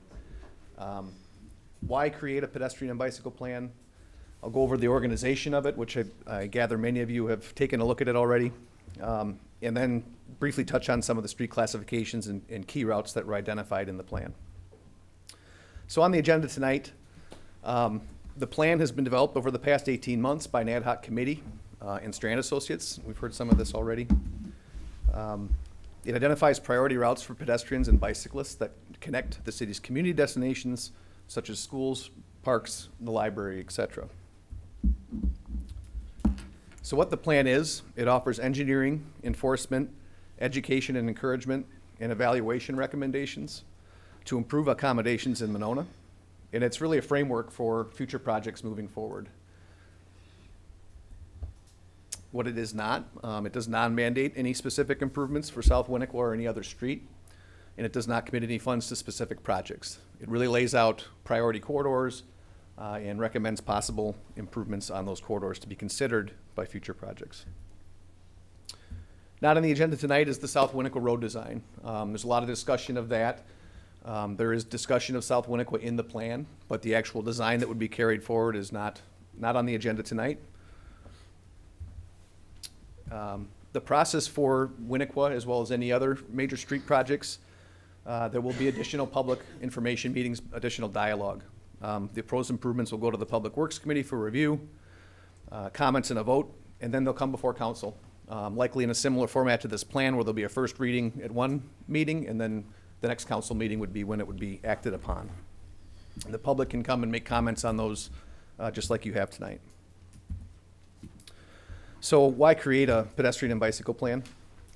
Um, this is a very condensed version of the discussion that's in the plan, but some of the key uh, issues are access. Uh, based on a survey in 2012 of residents, 22% of Winnequah school students walk or bike, yet 70% live within two miles of the school. Um, from an equity standpoint, nationally, over 10% of adults over 65 stay at home on a given day because they don't have other options. Um, and we've got an example right here of uh, someone walking in the street. There's health implications as well. Um, people with safe places to walk uh, tend to meet recommended activity levels more often. This is national information. Uh, people in walkable neighborhoods did 25 to 45 more minutes of moderate intensity physical activity per week. So there's good health benefits associated with providing improved pedestrian and bicycle infrastructure. And from a safety standpoint, uh, documented crashes, survey responses, and routine public feedback about, feedback about a lack of pedestrian and bicyclist safety uh, in Monona warrants a plan for action. So this is something that the ad hoc committee talked a lot about. There's been a lot of support for improving conditions for pedestrians and bicyclists over the years, and it's been a discussion that's been going on for, uh, you know, 10 plus years probably among city leaders. So in 2012, there was the Monona Community Survey, which some people had some examples of the results of that. Um, there was the gap analysis that measured how important uh, city services were to residents versus how well the city was delivering on those services. Um, the second highest gap was the city sidewalk system. The fourth highest was the bike and pedestrian accommodations. Um, so this was some. This was one of the um, pages that someone held up earlier. This shows that gap analysis, um, the overall importance in blue, and the execution in red. Um, and uh, there was a mention of the sidewalk system being low on the priority list, um, which it was in terms of um, what was asked for. But there was also kind of a double up on the question. Uh, bike and pedestrian accommodations uh, ranked a little higher than that. So at any rate, the city, um, you know, it's a good policy to put your efforts towards the things that are the largest gap in a analysis like this, and that's kind of uh, two of these things. Sure. Could you explain what the red on the left is? Yep, so the blue is the, the score given for importance, uh, and so people ranked things from, I think it was zero to nine, um, as far as how important it was to them.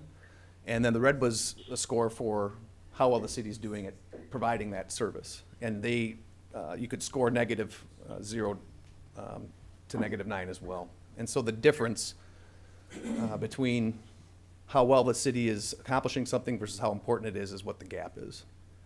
So this is showing the, the highest gap was street repair Second highest was sidewalk system, storm drainage, and then bike and pedestrian accommodations. So, and this report's available on the website. Um, it's linked on the, the page with the bike plan. Um, this is just one snapshot from that report.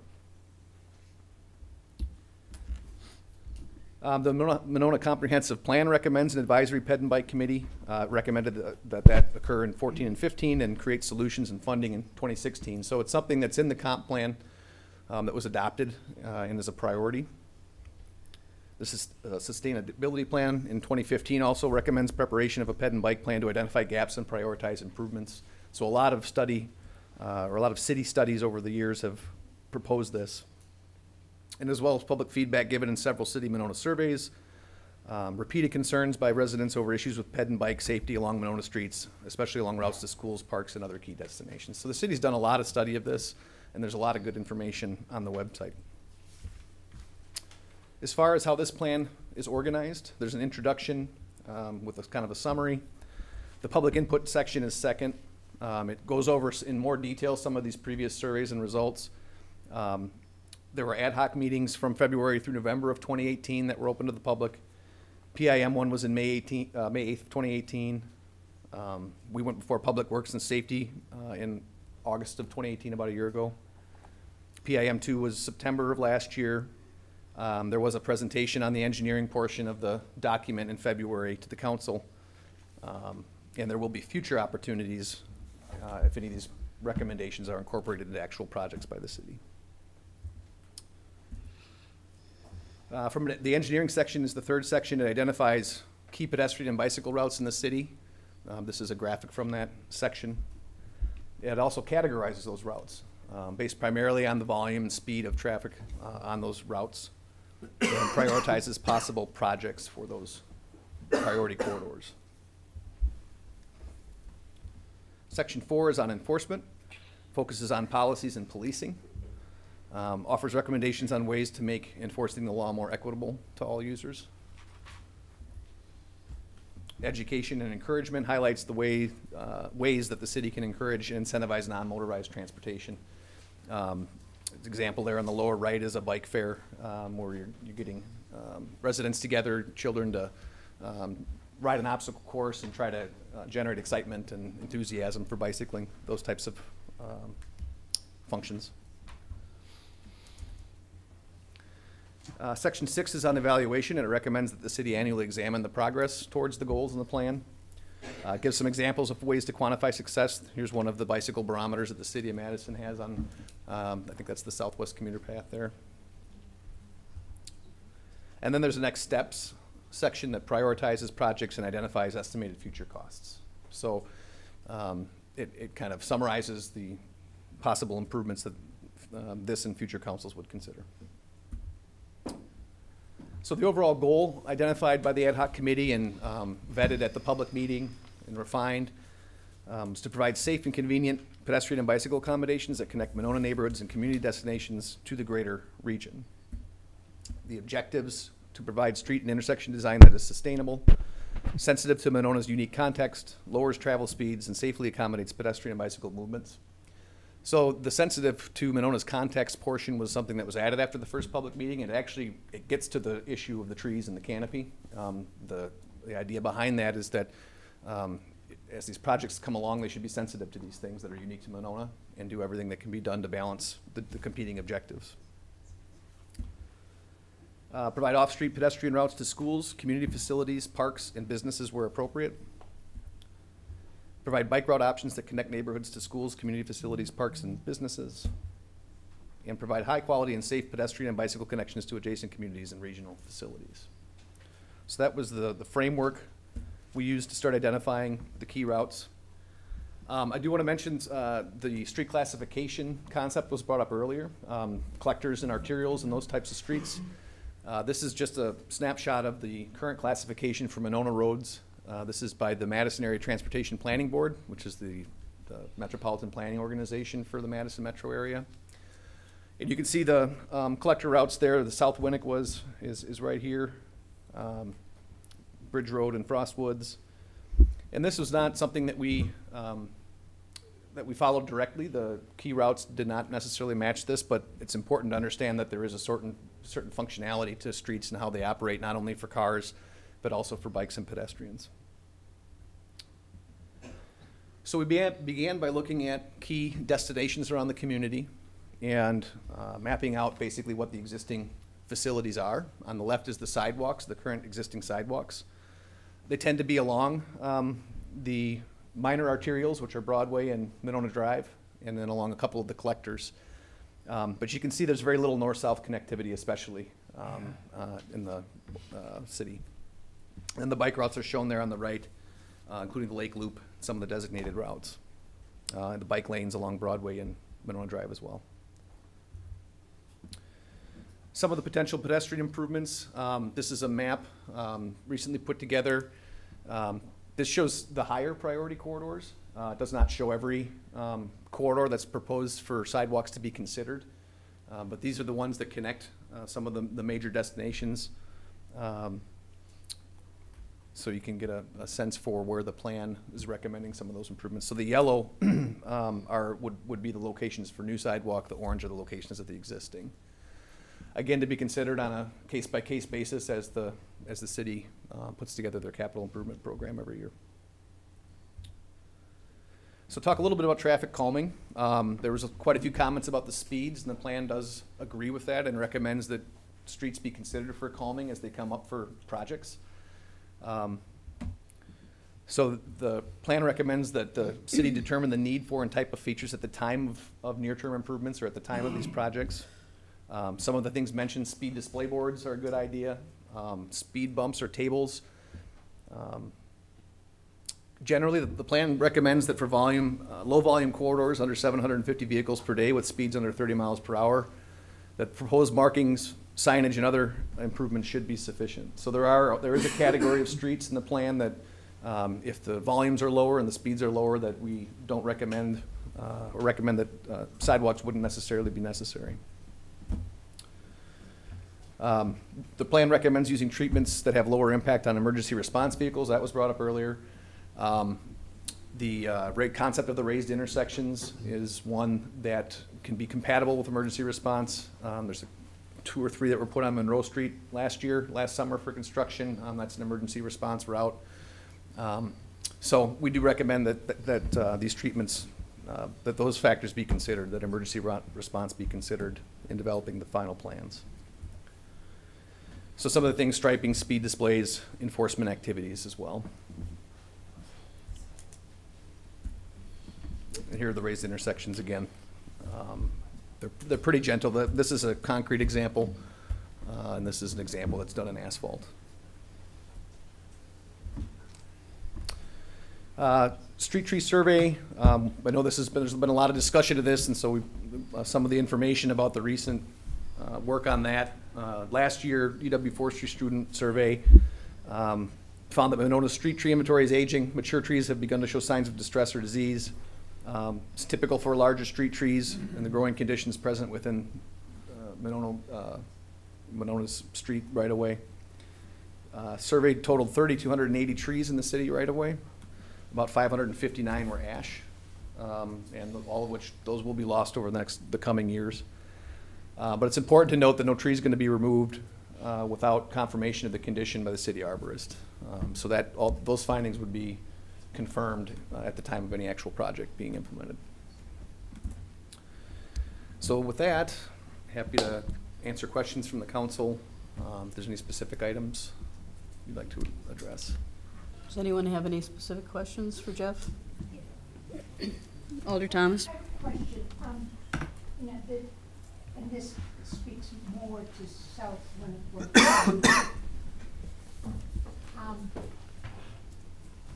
the number of cars have increased, and I, I live, um, I should state that, I live on Winnequah near Owen Road. Mhm. I have noticed since the stoplight went in at Owen, or at, at, at, uh, in Winnicott, uh, Drive, that more cars are turning, coming down Owen and turning onto Winnequah to avoid um, the intersection. Mm. We still have cars turning down on Frost Woods and taking Bridge.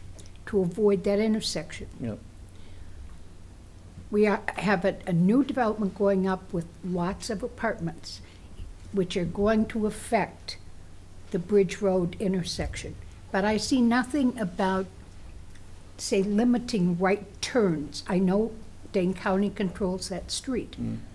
But I think that you could have a significant impact on both Bridge and Winnequah if we limited right turns. And I didn't see any of that in there. And, and the fewer cars, the, the safer it would make the street. So, so I understand you, uh, southbound Monona Drive right turns to go onto Frostwoods and ultimately Bridge, is that? Mhm. Yeah. They Um, go on, they go, they, they turn at Owen and they either turn on Bridge or they turn on Winnequah. Okay. If it's at the Frostwoods light, they turn right and they come down Frostwoods and they go on Bridge. Sure. It's a way to, to avoid the intersection at Monona Drive. Mm-hmm. You know, the best It thing. adds a lot of Madison traffic. Sure. The, the, the best thing that could happen with that is for the, uh, WISDOT to fix the belt line. Because I think most people would use Monona Drive to get to the belt line if it wasn't as backed up as it is. People use Broadway to avoid the Yahara River Bridge because of the backups. So in terms of actually restricting movements, that's a, that's a pretty extreme, um, Madison does it on Atwood, Ave- on Atwood Avenue. hmm Yeah, I mean, it's, it's something that could be looked at. Um, it's, it's a pretty extreme reaction to that type of cut-through traffic. Um, typically, um, you know, you try to calm that traffic first and, and make sure that if people are using the street, um, that they're, u- they're doing it at a re- a reasonable and responsible speed. That's usually the first step. Um, and there were some steps taken with the markings out there on Frostwoods and Bridge, uh, to try and make things a little better for that. Um, But, uh, ultimately, you know, traffic calming is usually your first option for something like that. My, my other question, and, and it's only because I can, I see that there are a thousand bikes in one part of the report. It says a thousand bikes a day that go down Winnequah. Yeah, I couldn't find that. but- I'm not but- sure where that came from, but. But um, if you, but if you look at the university study, mhm. they say a thousand, a hundred thousand bikes a year at the intersection of Winnequah and Bridge. Mm. If you had a thousand a day, you'd have three hundred and sixty-five thousand going down there. Right. So I, so I'm trying to figure out which number I can, is. an- I can answer that. Okay. That, that number is not a daily bike traffic number, it's a peak summer day number. It's based on a, a count that a number of the committee members did, a hand, you know, sat out at the end of the driveway and counted bikes. Folks, could we have quiet back there, please? Or if you'd like to speak, could you go out in the hall? So hall? that's a peak what? It was a, so that was on a, s- uh, Saturday in the summertime, good weather. So you're, Okay. obviously, that's going to be. Okay, but that's, I think that's not what it says in the report. It have says a thousand a day. It does say that, like, I read it last night. It's a peak, it's clearly states it's a peak number. And that's in the university report, I believe, right? No, that's a thousand there. The university says a hundred thousand at the intersection of Bridge and Winnequah annually. You can't bike in the winter as many as in the summer, maybe that's why it's not three hundred and sixty-five thousand and it's only a hundred thousand. Right. Maybe? Yep. Because it's on a I'm ju, I, I. I live there. I don't, I don't, on most days there aren't a thousand bikes a day. So I'm just trying, I was just trying to figure out where the number was coming from. Okay, Okay, folks, could we please have quiet, or if you'd like to speak, could you go out in the hall? Say fifteen hundred in an Ironman, and if you've done the Winnequah and half Ironman. Okay. There's seven hundred in a day, that's six hours worth of biking. Thank you. Nonstop. There's Okay, no we would, please, could you let, keep this to the council? I myself sat on Winnequah one day last summer and counted eighty in an hour on a Sunday morning. So it does happen some days. Um, Would any, any of the other council have any questions for Mr. Held? No one? Okay. Um, Thank you, Jeff. Yep, thank you. And then we will begin our discussion. So, Jeff, or Doug, do you want to start? Sure. Um, My name's Doug Wood, I live at fifty-three oh four Schluter Road. I was the, the chair of the ad hoc committee And as has been said, the plan was a result of work uh, by many people, professional engineers from Strand. Uh, Started out with Tom Lynch, and then uh, Jeff actually did, the- came on pretty early and took over, and also Josh Straka, as well as uh, a number of city staff, including Dan Stephany, Brad Braun, Jeff Johnson, and Police Lieutenant Kurt Weigel. Um, The committee was appointed by the mayor, including myself, and then Alder Chad Speight, and five citizen members, including members of the Public Safety and Public Works Committees, and the principal of Winnequah School. I think there was a um, fairly wide range in, uh, in the, how long people had lived here, I guess, if that matters. I mean, as far as I'm concerned, if you've lived here a long, a long time like I have, that means you've lived here a long time, and you probably know more of the history, but it doesn't make, doesn't make the, the viewpoint of someone who's only lived here one year, or five years, or ten years any less important. Anyway, um, this committee took its work very seriously. We met, um, uh, numerous times, committed, uh, the members committed many hours and numerous evenings to it, and I commend them for their willingness to serve, especially on an issue which they knew was going to be uh, subject of controversy. I have lived here a long time, 35 years in three different locations in the city, and it's a wonderful place, but it's not perfect. No community can thrive without change and honestly evaluating its shortcomings. And to put it simply, much of Monona is not very walkable. We have great parks, schools, great library, great programming, but it can be difficult to walk to these destinations because on too many of our main streets, we have to walk in the road with the cars, too many of whom are indeed going too fast. It can be an unnerving experience even for a healthy adult. I actually observed today, um, just after noon on, on South, South Winnequah, near the intersection of Maywood, a young uh, woman walking with a stroller and two young children, I would estimate maybe three and five, something like that. And it was very clear that she was uh, very uncomfortable, very concerned about uh, keeping, making sure, literally sort of uh, moving her children back away from traffic as near the curb as they could be. Um, our transportation network should be equally available to all users. Everyone has a right to safe, convenient, and accessible transportation corridors, including not just cars, but pedestrians. As Mary Poseen made the point earlier, I think we are, people who bike also drive and walk, and so it's a lot of the, we're talking about the same, the same folks here. Um, all pedestrians include school children, older walkers, and those with mobility limitations. Especially for these residents, walking in the street is not safe.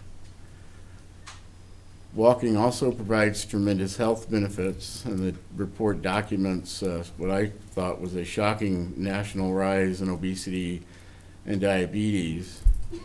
That um, without convenient, safe sidewalks and paths that go to the places people want to go, there are a number of people who simply will forego walking altogether. If we were building a, a network from scratch, we would almost certainly include sidewalks on all streets. But the committee knew that wasn't its task and understood that the plan needed to fit Monona's particular context. So we developed a plan for sidewalks and some paths along our busiest streets, along streets connecting to the places people want to go, and to create complete corridors. Not willy-nilly and not everywhere. The committee also understood that building sidewalks would inevitably require the removal of trees located in the city's right-of-way.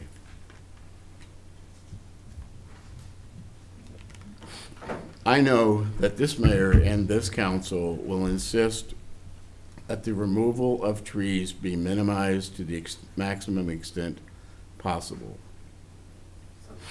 The design of each project will be done on a specific case-by-case basis. Sidewalks can be meandered around particularly important trees.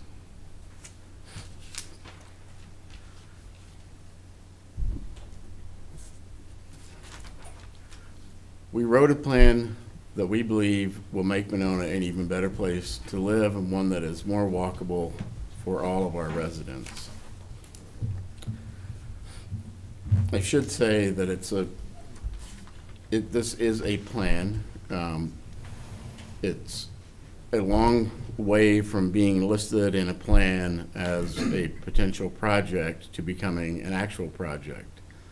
It has to get into a budget, first of all, into a capital budget that are approved annually and that are tight. Um, After that, it has to go through engineering design. We typically uh, budget money for design work in one year with construction following the next year.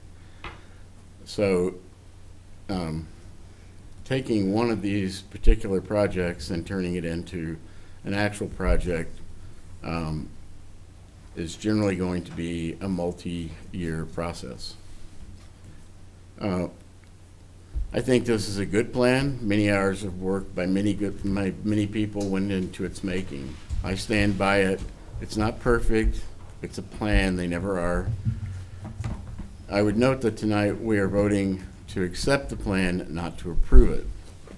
The plan will be implemented or not in future capital budgets as th- this mayor and this council and future mayors and councils think fitting and proper. The plan charts a changing course, a way forward to a more walkable, more inclusive Monona. I'm proud to support it and to have played a role in its development. Thank you. Alder Kitzler? I have, sorry to kind of backtrack. I do have some questions, and I don't know if Doug, as the chair, or Strand, maybe at some point. But um, so one of the questions I had, uh, in no particular order, the passage of this plan out of the ad hoc committee was it unanimous or? Yes. Okay. Um, some of the comments on the feeder streets, or I'm probably incorrectly saying the term for what we're talking about, Winnequah.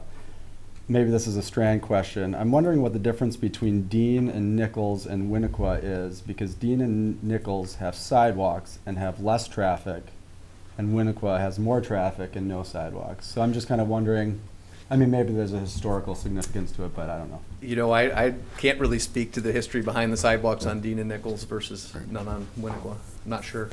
Okay. Uh, Sorry for putting you on the spot for that. Um, uh, One of the other questions I had, and one of the statements that were brought up a great deal, was the environmental impact, and I was wondering if that was considered in that, or, you know, it doesn't explicitly state that in the charge, but at the same time, you know, what role did that play in it, I guess, is a simple question.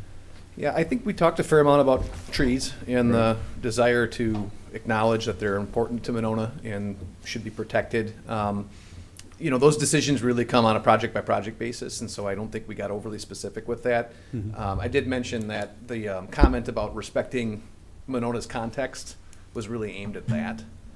Um, You know, in terms of impervious area, um, in the grand scheme of things, the, the additional sidewalks is a pretty small amount of impervious area compared to the streets and roofs and parking lots. Um, but that's something to consider. Um, and, um, y- you know, there are alternatives depending on the level of reconstruction. There could be an option in narrow streets, which would reduce that Mhm. impervious area to offset the sidewalk, but that would have to be made on a case-by-case basis. Thanks. And then uh, in the report, there was a number of questions kind of around all of the things that were considered by the ad hoc committee. Was that ever, I mean, not going through all these plannings before, but like, what, is that ever considered to add to the plan so that the public and or us can see kind of what was considered and why or why not it was selected to move forward? In terms of the uh, things we, some of the things we heard tonight, or some of the things that led up to the recommendations Yeah, that are in led up to the recommendations. I mean, I don't know what was considered during the committee discussions, but just Sure. wondering if, Yeah, you know, probably the meeting minutes would be the best way to see the progression of it. Um, there was definitely an evolution in terms of, um, you know, I remember one of our early graphics, we were talking about some potter, uh, some planters pot- potentially as separators uh, for on-street facilities, but um, there's just not a lot of space for that, and there was concern about maintenance of those things and the cost of them and so on. So there was definitely some evolution in that. Um, I, I guess I don't, I- I don't know that it's necessarily memorialized completely in the report. No, yeah, I would agree. I mean, there were a lot of different iterations of, in particular, the engineering Mhm. report that they would, they, um, we had an initial meeting and sort of set out what we're, we're gonna try to do, and then said Strand, you know, start working on that, and they brought it to us, and then it would, obviously, um, based on the committee's responses to that, it got changed. Mhm. And then we'd look at it again, and so it was a, a gradual, yeah. you know, Would that be, a- is it unusual to have that in the plan or not have, I mean, Um, y- You could certainly put the meeting minutes into an appendix if that's something that um, Okay. you'd like to see more visible. I I would also say that the type of traffic calming that ended up being recommended evolved as well. We ended up with the sort of raised intersection idea Right. concept, and we talked about a lot of other concepts prior to that as well. Yeah. But we could talk more about whether there could be another appendix. And the minutes are available on the yeah, website. yeah. Um, one other question. Maybe this is getting into the weeds a little bit, but, uh, so one of your potential policies or ordinance, uh, changes was standards for bicycle parking. Um, I was thinking, so the cities have standard park, amount of parking for vehicles for a business or different things like that. Mhm. Is there at all examples that you have of bi- required bicycle parking stalls per business? Yeah, yeah, there are examples out there. That's Yeah. something that we could provide. Um, I, the city of Madison has, has ordinance regarding, um, regarding the number of bicycle park. You know, and that's constantly evolving too. Um, you know, the demand for parking and, and the right balance, more so with motor vehicle parking perhaps than bike parking, but, um, there are examples that could be provided, yeah. Oh, cool. That's it for now. Amber, I, I know you had asked me previously a question about bike boxes, Jeff. Oh. Um, Yeah. But, Yeah, uh, feel free to jump in. Um, so with the Willy Street, John Nolen, I'm forgetting, that's like a five-way intersection. Yep, Blair Street. With, uh, was just redone, and I couldn't find the article after I talked to Doug, but, um, I remember reading that they got rid of the bike boxes for a reason, because either they were confusing or they didn't work. And I noticed in here, bike boxes were recommended, and so I didn't know if that evolved, if you know a little bit more about that. I don't know what Well- engineer was involved in that, but, Yeah, we were involved in the study of that intersection. I, I'm not, I'm not sure about the bike boxes being eliminated. That was another thing that evolved throughout that project is, is where to place those. I do know that, um, the, the sort of core of that intersection has not been reconstructed. The city is doing the Willy Street leg and the Wilson Street leg, but the middle is US 151, and WISDOT has to re- reconstruct that. So it could be that those bike boxes are on the WISDOT portion. Um, Okay. That's not to say that they won't be placed there, they, they still could be. okay. Um, so I, we could talk a little more, maybe offline, I'm not exactly sure, um, about that, I, I Yeah. haven't heard that. And I know it's kind of getting down the road because design phase will figure all that out, but I just thought it was Sure. interesting. Yeah, I think in general, this- the Madison, you know, you know, feels like the bike boxes are well used when they're put in the right spot, and people have, there's been enough of a period now where both the cyclists and the motor vehicles understand what they are, so, Mhm. um, I think there's still a good concept. Yeah. Um, and then at least my final kind of comments right now would- to you would be, you know, thanks for the ad hoc committee and the members that are here and not here. Uh, and certainly I really appreciate the low cost, high impact recommendations as well. It's Mhm. kind of the high cost, high impact. Uh, so it was nice to look at all of those combined. That's it for now. Alder Thomas. Um, So I didn't write notes, but, but let me give you a couple of comments. First of all, because I'm defensive, I was at that two o'clock meeting. I will tell you what the council did. We moved to put parking back on Winnequah Road. We didn't have anything to do with the bump outs. We didn't redesign the road. But what we did do, excuse me, engineers, we trusted the engineers that when we put the parking back in, they would make the road wide enough because we were redoing, and they didn't. And nobody told us that. There were letters that went to the city engineer that said, you know, they wouldn't recommend it. The council never saw them. At least I didn't, and I don't know if you did, Doug, but I never saw them at the time. Yeah, I don't recall seeing it at the time. It was a letter from MSA, it was the engineer basically saying they weren't gonna put their engineering stamp on it the way it was. Although they wrote the letter recommending that the driving lanes be, anyway, enough of that. But, so, so those of you who think that the council redesigned the road, we didn't, we added parking back in on, on the west side of the road, and we took the bump outs out, so that's that. Having, so I, so I am, you know, council, excuse me, because when it comes to all of this, I will be, I get skeptical about um, not asking enough questions, but I, first of all, I would feel more comfortable if this said proposal and not plan, because there are parts of it that are good and there are parts of it that I'm not crazy about. And as with everything, the devil is in the details. If we're going to do this, we have to maintain the sidewalks.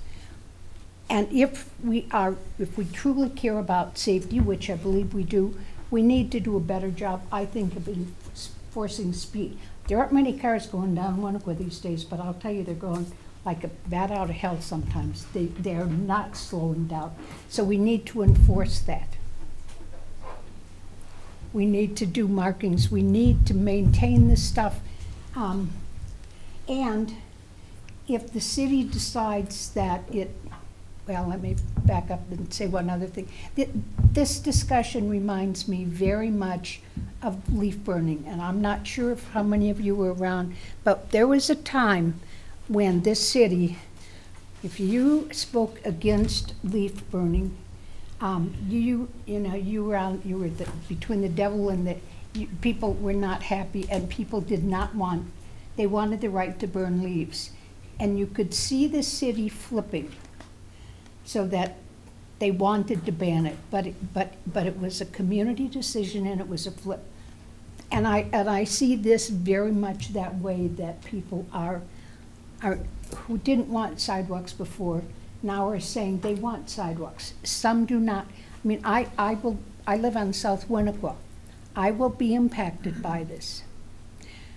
Um, and I will tell you that I'm not opposed to it. And I'm not in favor of it because it will depend upon what the plan looks like and what it does there. The other thing in terms of enforcement that, you know, uh, what are we going to do about, I have friends who live on Nona Drive. They have a lot of very fast bikers that don't use the bike lanes, they use the sidewalk. I'm not building, in my, my personal views, I'm not building a sidewalk for bikers.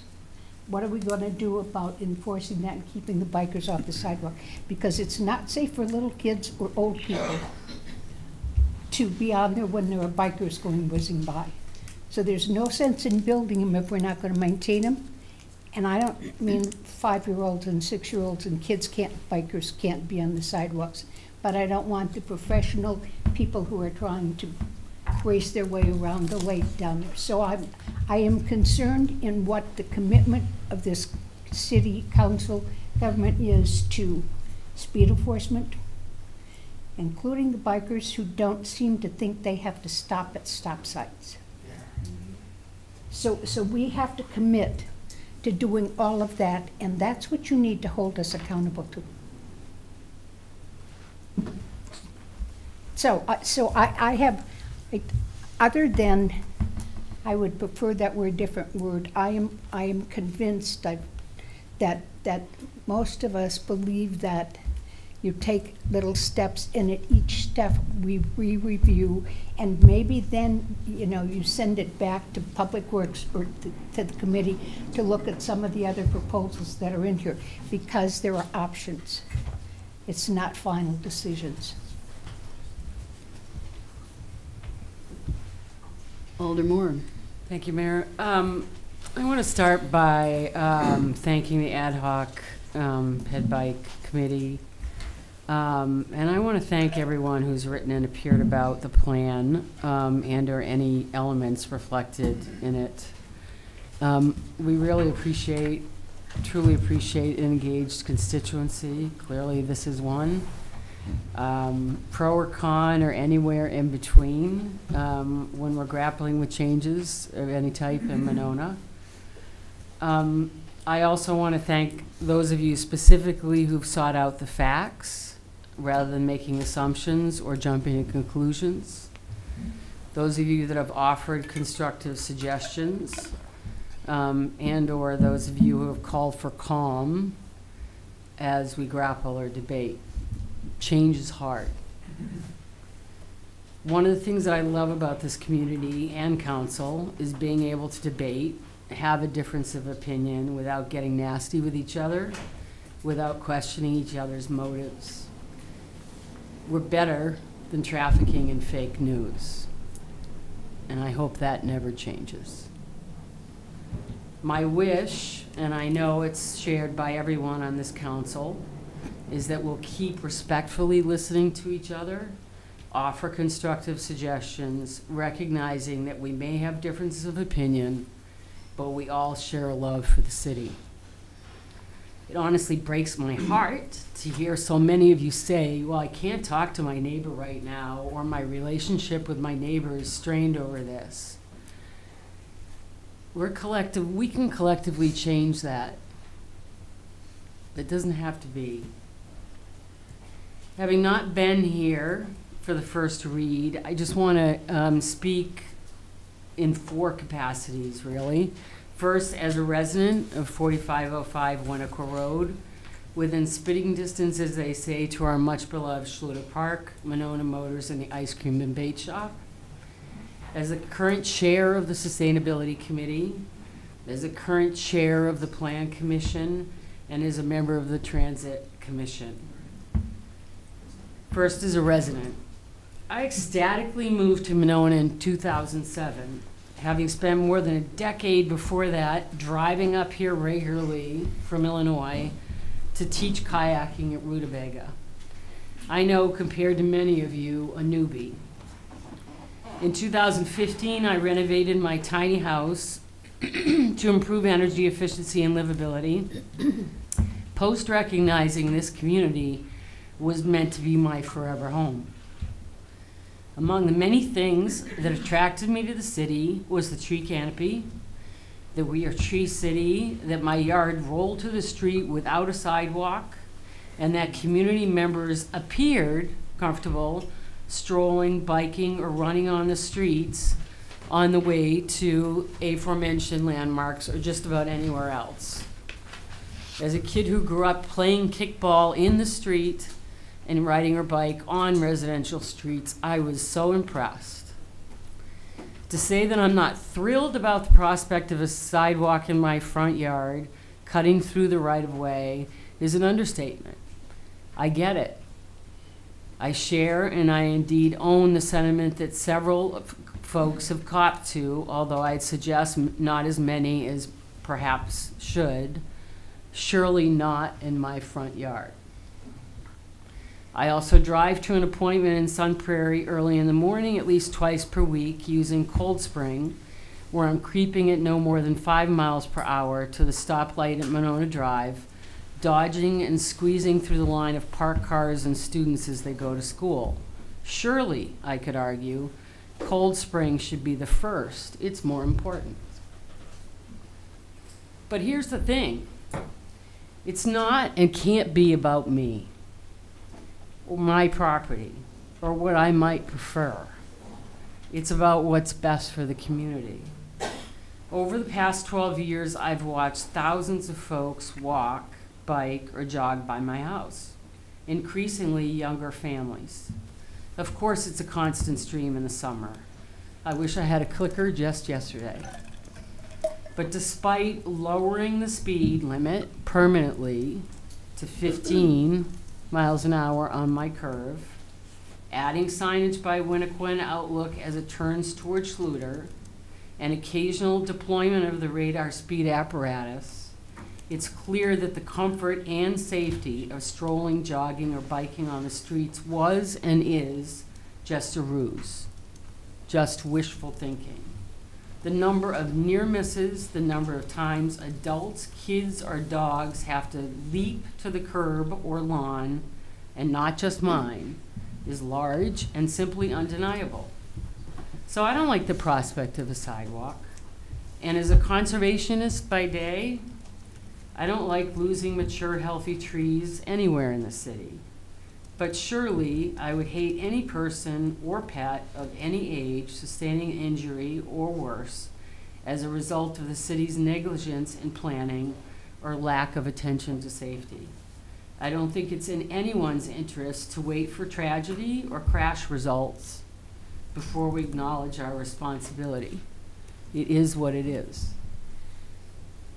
Now I want to speak as the chair of the Sustainability and Plan Commission and member of the Transit Committee, which is less about safety and more about the big picture. A number of citizens have called out this bike ped plan or the suggestions within it related to Winnequah Road as flying in the face of Monona's commitment to sustainability. Even going so far as to su- suggest that this plan or council is promoting the deforestation of Monona.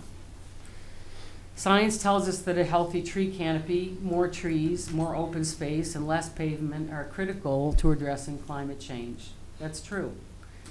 Video and minutes will reflect that I, among many others, have cautioned that we've paved paradise to put up a parking lot on many occasions. Heck, I've even hummed it. Worried that we're encouraging more driving with wider roads, a reality, more parking with bigger lots, another truth. Our sustainability plan, and just about every other plan, including the one before us, does acknowledge that science. The importance of our trees and the need to be careful in chewing up open space with more pavement, be it parking lots, bike lanes, or sidewalks. I'd add, for those who are listening, that even bigger single-family homes, now seemingly a norm, subtract from our sustainability too. But even more prominently, far more prominently, in the general section, the land use section, and the transit section, the sustainability plan reflects that increasing the number of transportation choices, providing safe, multimodal, equitable means for individuals to commute, access schools, services, retail establishments, and the like, has a greater positive impact on sustainability than the relatively small negative impact of losing a few trees. Greenhouse gas emissions from the transportation sector make up about twenty-three percent of total emissions in the United States. Choosing alternative and sustainable transportation options such as biking, walking, and taking public transit reduces the individual carbon footprint. Our data also shows us that folks won't stop driving their cars unless they have multiple safe alternatives, as largely reflected in this plan. In short, this plan does not fly in the face of our sustainability plan, but rather fully supports it. Full stop. We have to reduce our use and reliance on fossil fuel cars. Finally, I'd also like to note that we're not only we're not only not deforesting, we're not even subtracting with respect to the number of trees in Monona. A few data points. The 2018 Sustainability Dashboard, which is on the website and I have right here, reflects that for every four trees we've lost on public property, for whatever reason, we've planted five. And, s- and many here might not know, you should also know that we reuse many of the trees that we've had to, that have had to come down, making furniture, decking, and the like for Park and Rec. As we speak tonight, the new riverfront development has added dozens of trees and more open space to what was before a largely impervious concrete blight. And the Plan Commission, as part of the landscape standards, is hyperactive in enforcing canopy tree requirements as part of the zoning code, set as a function of the amount of parking proposed in any new development. There's been a lot of calls tonight to add, to slow down the acceptance of this plan. We hear you. But as evident from the current Winnequah design and appearances tonight, the city has been debating sidewalks, bike lanes, among other safety and convenience items for at least 15 to 20 years. I'd ask, isn't that long enough? There's also been many calls to add options to this plan before accepting it. Again, we appreciate them. But I assure you that the acceptance, as we all have, that the acceptance of this plan doesn't preclude any of these options. I'm confident the Public Works Committee and the council has heard it all and will give, will give it all their due. I have no idea what specific plan will be for my yard, for any part of Winnequah Road, or for any other road. None of us do, since it hasn't been decided. What seems true, however, is that this plan is a worthy guide. It creates a worthy foundation for us to move slowly and smartly to get Monona where it needs to go. I'm also confident that the Public Works Committee, this council, the councils that follow us, and yes, the Monona residents that follow you, will make smart choices now and over many, many years that this long-range plan is intended to be a guide. Thank you. Anyone else? Alder Court? Um, I'm gonna make this brief because we've all been here quite a while. Um, I wanted to speak more to process than opposed to what's been said about the plan. Um, I just want to make it clear that this plan is non-binding. Um, if this plan is accepted tonight, it, um, it could be put on a shelf and we could never look at it again. If, um, it's my hope that we don't do that. But there is nothing within this plan that says something is for sure going to happen. All of you here tonight have done an excellent job in engaging in the civic process. Um, I am pleased with all of you showing up, and I hope that this is not your last meeting. It gets awfully lonely in here on Monday nights. Um, and frankly, the room is a lot warmer tonight than it's usually. um, so I am pleased that you're here. I hope you continue to show up here. Um, in terms of South Winnequah, there is no plan yet for South Winnequah. We are just in the conversation stages. I chair the Public Works Committee. Um, if you have ideas about South Winnequah, I encourage you to send them to me. If you have specific, specific concerns about your property on South Winnequah, be it the grade of your driveway, be it a tree that's in your front yard, I encourage you to email me. Um, all of these things will be pulled together as we start the conversation about South Winnequah. Um, once we do have a plan um, developed by engineers, there will be public hearings for those um, to review that plan, which you will be able to attend and speak to. Um, the Public Works Committee will vote on that plan. It will then go to the City Council. The City Council will read the plan twice at council meetings, which you can also attend like tonight, and give statements. Um, I just want to make it clear that, that you are not out of this process, um, that it is your duty as a citizen to be engaged in this process, and I do hope that you continue to be involved, whether you agree with what we do tonight or not. Um, if you don't agree, even more so, we need to hear from you. So it's my plea that, that, that the buck doesn't stop here, that, that you maintain your en engagement. Um, trust the process. Um, there's a reason it works this way. Um, all of us here are community members. I am a mother of two small children. Um, the blonde that was up here before, uh, the little four-year-old, that's mine. Um, and uh, I feel strongly about Monona taking a step forward in terms of public safety. However that ends up looking, if it's sidewalks, if it's bike lanes, if it's signage, if it's redu reduction in speed, everything's on the table at this point. And we want to hear from you. Um, I've met with many of you, and I hope to meet with more of you.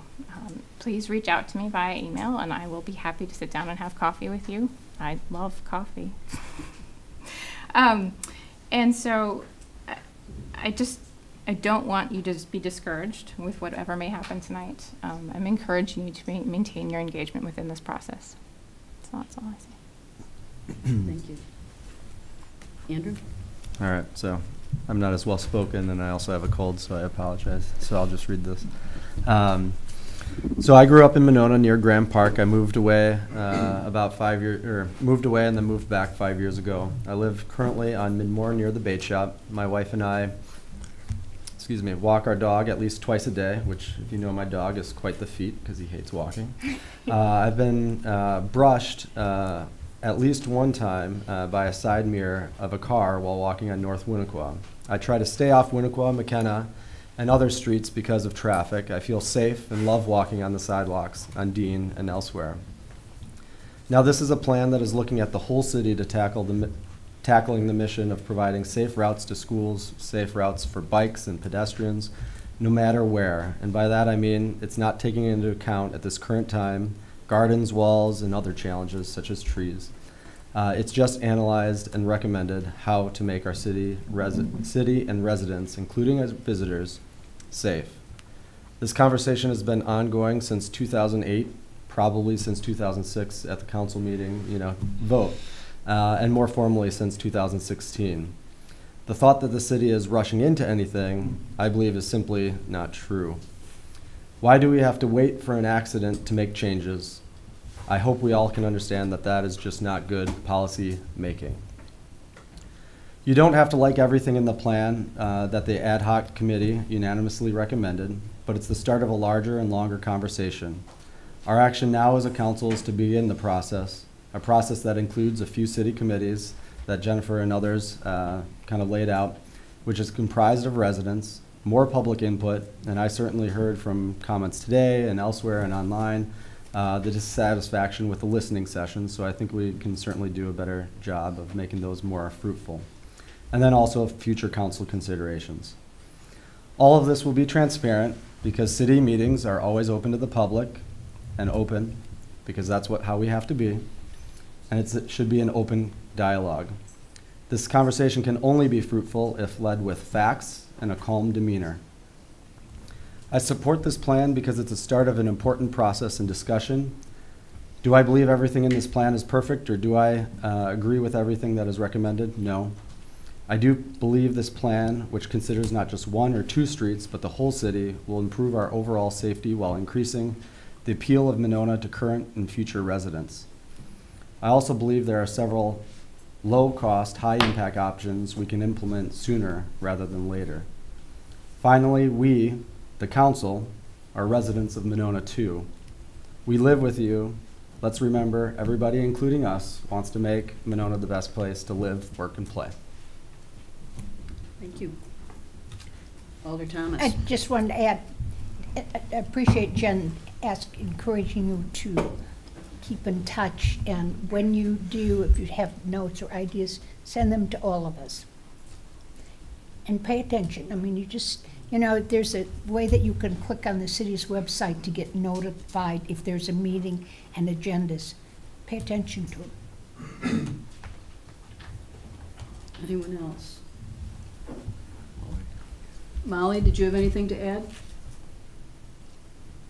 Um, I guess just because I don't want to hear myself echoing on the YouTube channel, I will just say in brief um, that I echo this and support the sentiments of the other council members uh, who have spoken tonight uh, in support of the plan. Uh, and I appreciate the efforts of all who participated in the formulation of this plan and those who lent their voices to this dialogue, both formally and informally, including everyone who is in attendance tonight. So thank you for your engagement, and, and as Alder Cool uh, recommended, please keep it up. Thank you. Anyone else? Any other questions or comments? Hearing none, then call the question. All in favor, say aye. Aye. Aye. Aye. Molly, did you? Aye. All opposed? Motion passes. Uh, Next up uh, on the agenda is new business. Item 2A, consideration of resolution 19-8-2368, approving a bid for the purchase and installation of a refrigerated outdoor ice rink system at Riverfront Park put forth by the Parks and Recreation Director, and this is started for immediate approval. Move to take this item out of order? Second.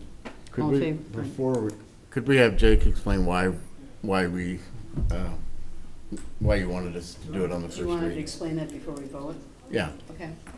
Oh, sure. The reason we asked this uh, item to be starred for one reading is simply a timing issue with the amount of time that it takes to custom build um, the ice equipment um, in order to be able to open Thanksgiving weekend, weekend before Thanksgiving, get it delivered, um, installed and trained on.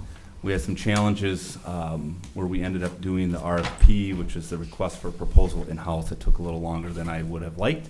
Um, But we're really at that 11th hour to be able to get the equipment here to start our program um, in mid, mid to late November, which we'd like to do.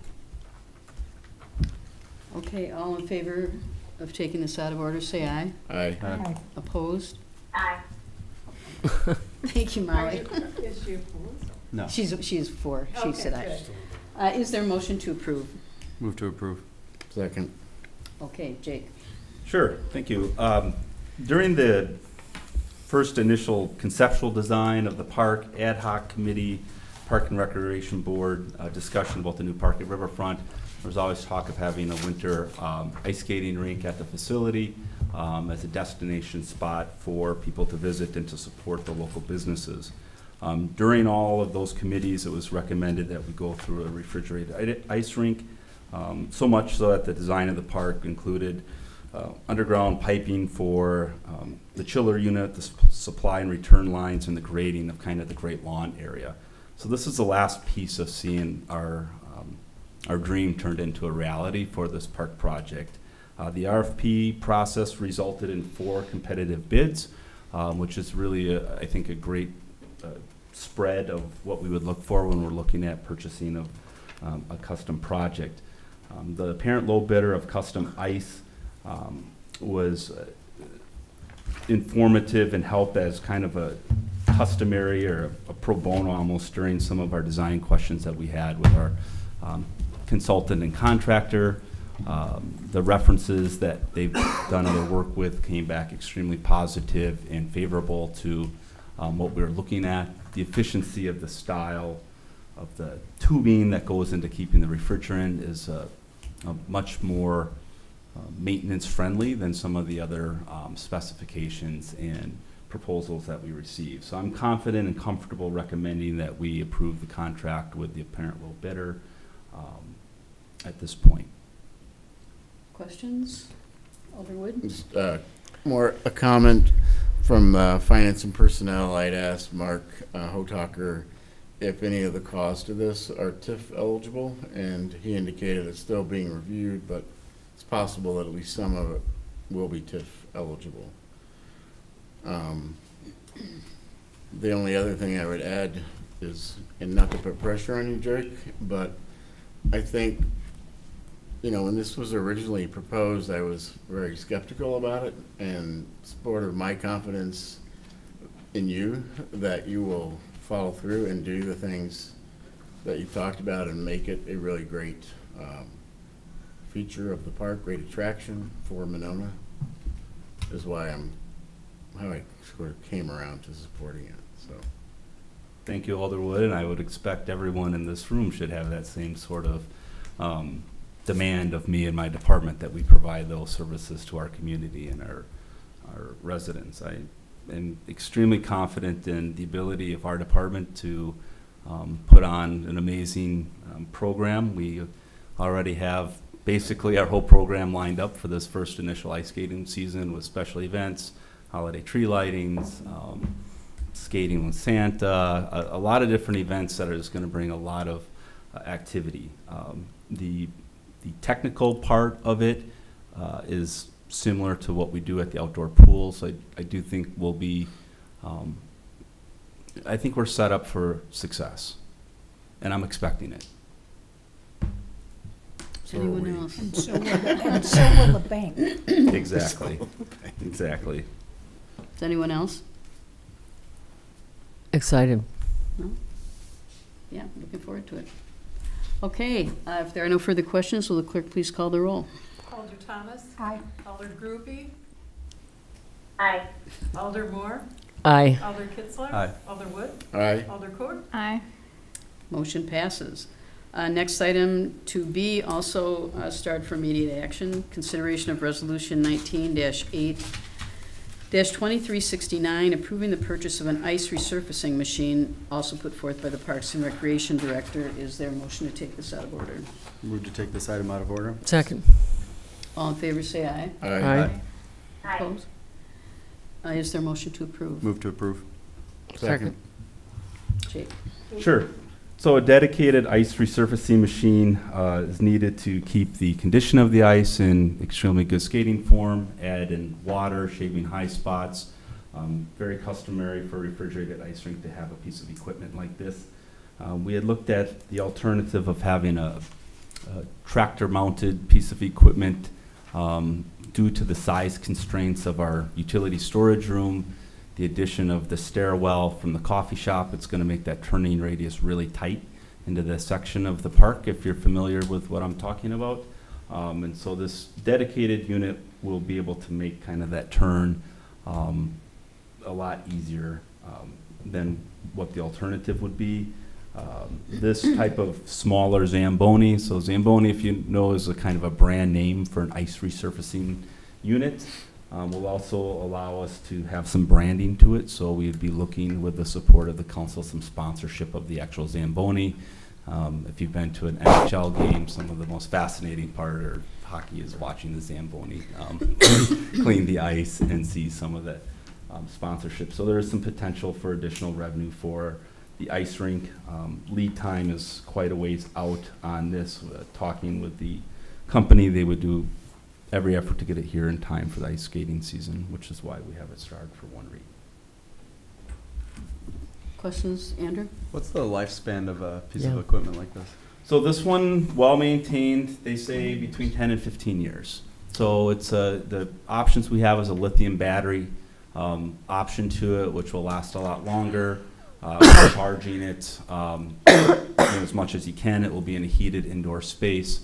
Uh, so really, what's probably would be the challenge with this is the batteries. So the, the actual piece of equipment is gonna last a long time. It'll be if we, new technology emerges and, you know, the lithium battery becomes obsolete in ten years. Might be a different method of, um, using it, but So, Alder Thomas? So how expensive are the batteries? Uh, the battery upgrade package that we have is like a, a four thousand dollar. So it's probably looking at three to four thousand, which is similar to like if we're looking at our electric, you know, vehicle replacement of the Okay, batteries. so the, the machine itself has a longer lifespan. You told me twenty earlier. Yeah, I, fifteen to twenty, I just, it's one of those where it's like, it's like our boiler at the community center. Don't say that. Should last 20 20 years, but if in ten years I come back and you say, but Jake, you said it was gonna last I, twenty I years. won't be here. Well, I think she was saying the vehicle or whatever you want to call it, piece of equipment will last twenty years, but we'll have to replace the battery. Correct, we may a have to couple times replace, throughout its correct, that life. is Yeah. correct, that, Which think is that's- a lot cheaper than replacing the whole. absolutely, right. Alder Moore? Well, and I would also think, I, I mean, again, I'm not trying to put words in your mouth, but I would also think since it's not something that's being used year-round. that Correct. That would extend not only the life of the machine, but potentially the battery if we take care of it correctly, as somebody who runs a bunch of battery operated stuff, right? Correct. I mean, it's not sitting, I mean, if you, you know, it's kind of a cream puff, it's only being used four months, five months out of the year, right? And how many, maybe you said this in your exclamation, my mind's kind of fried here. Um, how, didn't you say in finance and personnel, you'd probably be using it three or four times a day? Correct, yep. But still over, you know, it'll be in pretty good condition as far as being stored in heated garage and having, you know, maintenance done on it regularly. I, I don't see it as being an issue. Alder Kitzler and then Alder Moore. Sorry. Uh, and I know we asked this similar question in finance and personnel, but with the storage facility that we have there and your need to store all of the rink equipment as well as the ice resurfacer, there's enough space there to not worry about storage. Yeah, so the resurfacer will fit fine in our storage unit itself. The rink equipment on the off-season, spring, summer, will be stored off-site. Oh, okay. A city site or? Uh, no, we do have a, a developer that will be um, sponsoring the storage of it. Oh, okay, all right. Alderman Moore? No, I'm good. Anyone else? Oh, I know what I was gonna ask. I just remember. So i- is the, um, recognizing that this is a new type of machine, do you, uh, er- er, is the maintenance similar to any other fleet or vehicle that you're used to, or are we anticipating higher maintenance costs? Um, from my talks with people that have dealt with these before, um, they're dealing with the larger ones that have some more complicated parts to it. Um, it's a fairly basic system. Uh, we will get trained on it, and I do believe we probably have one of the best mechanics in Dane County that works for the city um, that can work on anything. So I, I don't think it's any different than like one of our mowers, for example. Okay. Anyone else? Molly, did you have any questions? No. Okay. Anyone? Okay, will the clerk please call the roll? Alder Coeur. Aye. Alder Thomas. Aye. Alder Grupe. Aye. Alder Moore. Aye. Alder Kitzler. Aye. Alder Wood. Aye. Motion passes. Uh, Next is reports of committees, commissions, et cetera. Alder Thomas? No reports. Alder Coeur? On Saturday, we had an absolutely fantastic mound dedication event. Thank you to the mayor for speaking. Um, we had almost sixty people show up. Um, I want to thank the library for all of their support in helping set up and take down and transition and AV. Um, Will with community media for taping and live streaming, and um, Doug Plahmer from the planning department um, for all of his support um, coming in on a Saturday. And uh, yeah, it was fantastic. Alder Wood? I would second that. It really, um, was really happy with the way it went, in particular, the speakers from the tribe were very, uh, poignant. Other than that, Parks Board, we're meeting next week. We're doing a bike tour Tomorrow. Tomorrow. Yeah. tomorrow. That's what I meant to say, because that's the twentieth. That's when the meeting is. Okay. Sorry. That's it. Okay, Alder Grupe, did you have any news? Um, just to note that the senior committee will meet next Tuesday, the twenty-seventh at four thirty, just to review some capital budget items, and it's an open meeting as always, if others are interested in attending. All right. Uh, Alder Kitzler? Um, Doug stole one of mine, and then the other one is tourism applications are now out. So if you know anybody who will get heads in beds, if you will, um, whether it's an event, whether it's programming, whether it's, uh, I guess event and programming is the same thing, um, or publicity or different things like that, feel free to uh, send them Brian's way, and then Brian will send them the full application. So the timeline is applications are open now. Uh, they will close October 1st, and then we are meeting sometime mid-October to review and assign the funds. And we have about $48,000 to give out this year, which is pretty sizable. And then years in the future will be 90,000 and above. So we're going to get into some uh, larger amounts of money to give away. So that said, uh, feel free to send your ideas anywhere to Brian or myself, and we'll get applications out. Alder Moore? Um, we had, uh, successfully had triple header last week in Monona with the National Night Out and our first, uh, sustainability showcase coupled with the concert. Uh, and I just want to thank, uh, three members of the Sustainability Committee, Teresa, um, Dan, and Mark Buffett, uh, for for their um, leadership of that event, as well as Brad from the city and Missy and Jake and uh, and the, the police department, Monona Police Department, all of whom played well together in in uh, Winnequah Park in pulling off a triple header, and um, I think it was a huge success. We had arguably uh, the most interest in uh, the advanced Tesla that with the uh, Batman doors um, uh, that that uh, a friend of ours brought in. But uh, it was I, I think uh, we got some good interest and really appreciate. Had some new community members join us, uh, and I, and as a first uh, showcase, I think it went off very well, and I want to thank everybody for that. Great. Jake, did you have any? Just quickly, as long as I'm here. Uh, our our uh, August beer garden is next Thursday, August 29th at Schluter Park. Performing will be Lo Marie, so Lauren Homburg. So don't miss that one. Uh, On that note, you might want to change the date on the sign, on the corner sign. Yeah. Yeah. The, uh, Still has July. The keys are uh, misplaced at this point Oh. to change the lettering, so we are efforting my office to find the one set of keys that opens up the message board without breaking the locks. Um, Thanks, Alder Sorry. Kissel, for making me have to say that. Our Parks Board meeting tomorrow is gonna be a bike tour, so if anyone would like to follow along in bike or vehicle, we will be ending at Riverfront um, for kind of a sneak preview of the almost finished uh, park. Um, And stopping, starting at Stonebridge and kind of stopping at some of our park projects and maybe future potential park projects. Um, Save the date right now for Sunday, October 6th. On your calendars from 1 to 3, details will come, but we would like your presence um, as a community to unveil um, the new Riverfront Park. And if you do get a chance to stop down there, start thinking of a potential name. We do have a recommendation from the Parks Board, but I would like to hear the comments, or at least now that we're close to being finished, um, if anything else strikes or comes to your mind, so we can. What's the name?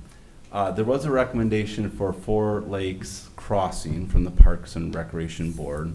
However, I think there may be some, um,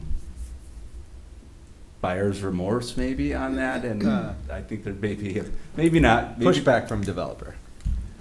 Some pushback from other people over Sorry. that potential name where, um, it may get revisited, or may, that may be our official recommendation to this board. Don't know yet. That's all I have. Is that all? Thank you. And my understanding is that former Mayor Miller will be here for the grand opening event on October 6th, so. That is correct. Joan? Uh, my car is packed, I'll be leaving for Middleton tonight, and, uh, and I'll be there all week for the Wisconsin Municipal Clerks Association Conference. Right. And, uh, You get to go to the hot spots. They're rowdy. Yeah, so, um, I'm on the kind of committee this year, so I'll be doing, um, some more hands-on with, uh, organization, so I'm excited. Okay, and Brian? Just uh, real briefly, an update on the budget. Uh, Staff continues to work on the 2020 budget. Uh, Right now, we're focused on capital, so staff and the mayor uh, will be meeting with department heads on their capital requests. Uh, And then we will get a schedule to the full council on the upcoming committee of the whole meetings that we'll be having in September and October, kind of lay out the whole plan for this upcoming budget cycle. And our first capital budget meeting with staff is this Wednesday. Um, uh, Okay, I just had a couple of things. Um, First of all, uh, keep in mind that our next meeting is Tuesday, um, September 3rd, because of the Labor Day holiday. Um, Tomorrow is the one-year anniversary of the deluge that caused the flood, so that's kind of on my mind these days. Um, I, I, I would like to compliment the Landmarks Commission on the, the mound dedication ceremony. It was very nice, and I was really impressed with the number of people who were here. It was really, there must, what were there, fifty or something, or forty or fifty? Approximately sixty. Yeah, sixty? Hey, Rick Bernstein did a f- yeoman's work on that, helping to put it together and get the speakers. He even wrote my remarks, for the most part. Okay. Yeah, no, he was, giving him our thanks.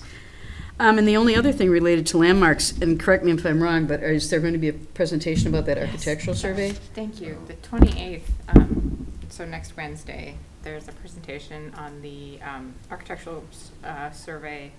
Um, invitations were sent out to property owners who have, um, properties that may be eligible for, um, National Register designation. Um, but it's an open to the public meeting. Anyone can come and attend. It is strictly informational. You are not making a commitment by attending. And it- that's at the community center? Yes. At seven, is that right? Yes. Okay. Um, I guess that's all I had for news. Uh, We have one appointment tonight, Jordan Stewart to the Tourism Commission, effective immediately through April 2020. He is the new manager of the Abbott Hotel, and he'll be coming from Hilton in downtown Madison. I Move to is my approve. understanding. Oops, sorry. So you move to approve? Move to approve. Is there a second? Second. All in favor, say aye. Aye. Opposed? Thank you, Molly. Motion passes. Uh, Is there a motion to adjourn? Move to adjourn. I'll second. The big no. All in favor, say aye. Aye. Opposed? Thanks, Molly. Enjoy the rest of your vacation. We are adjourned.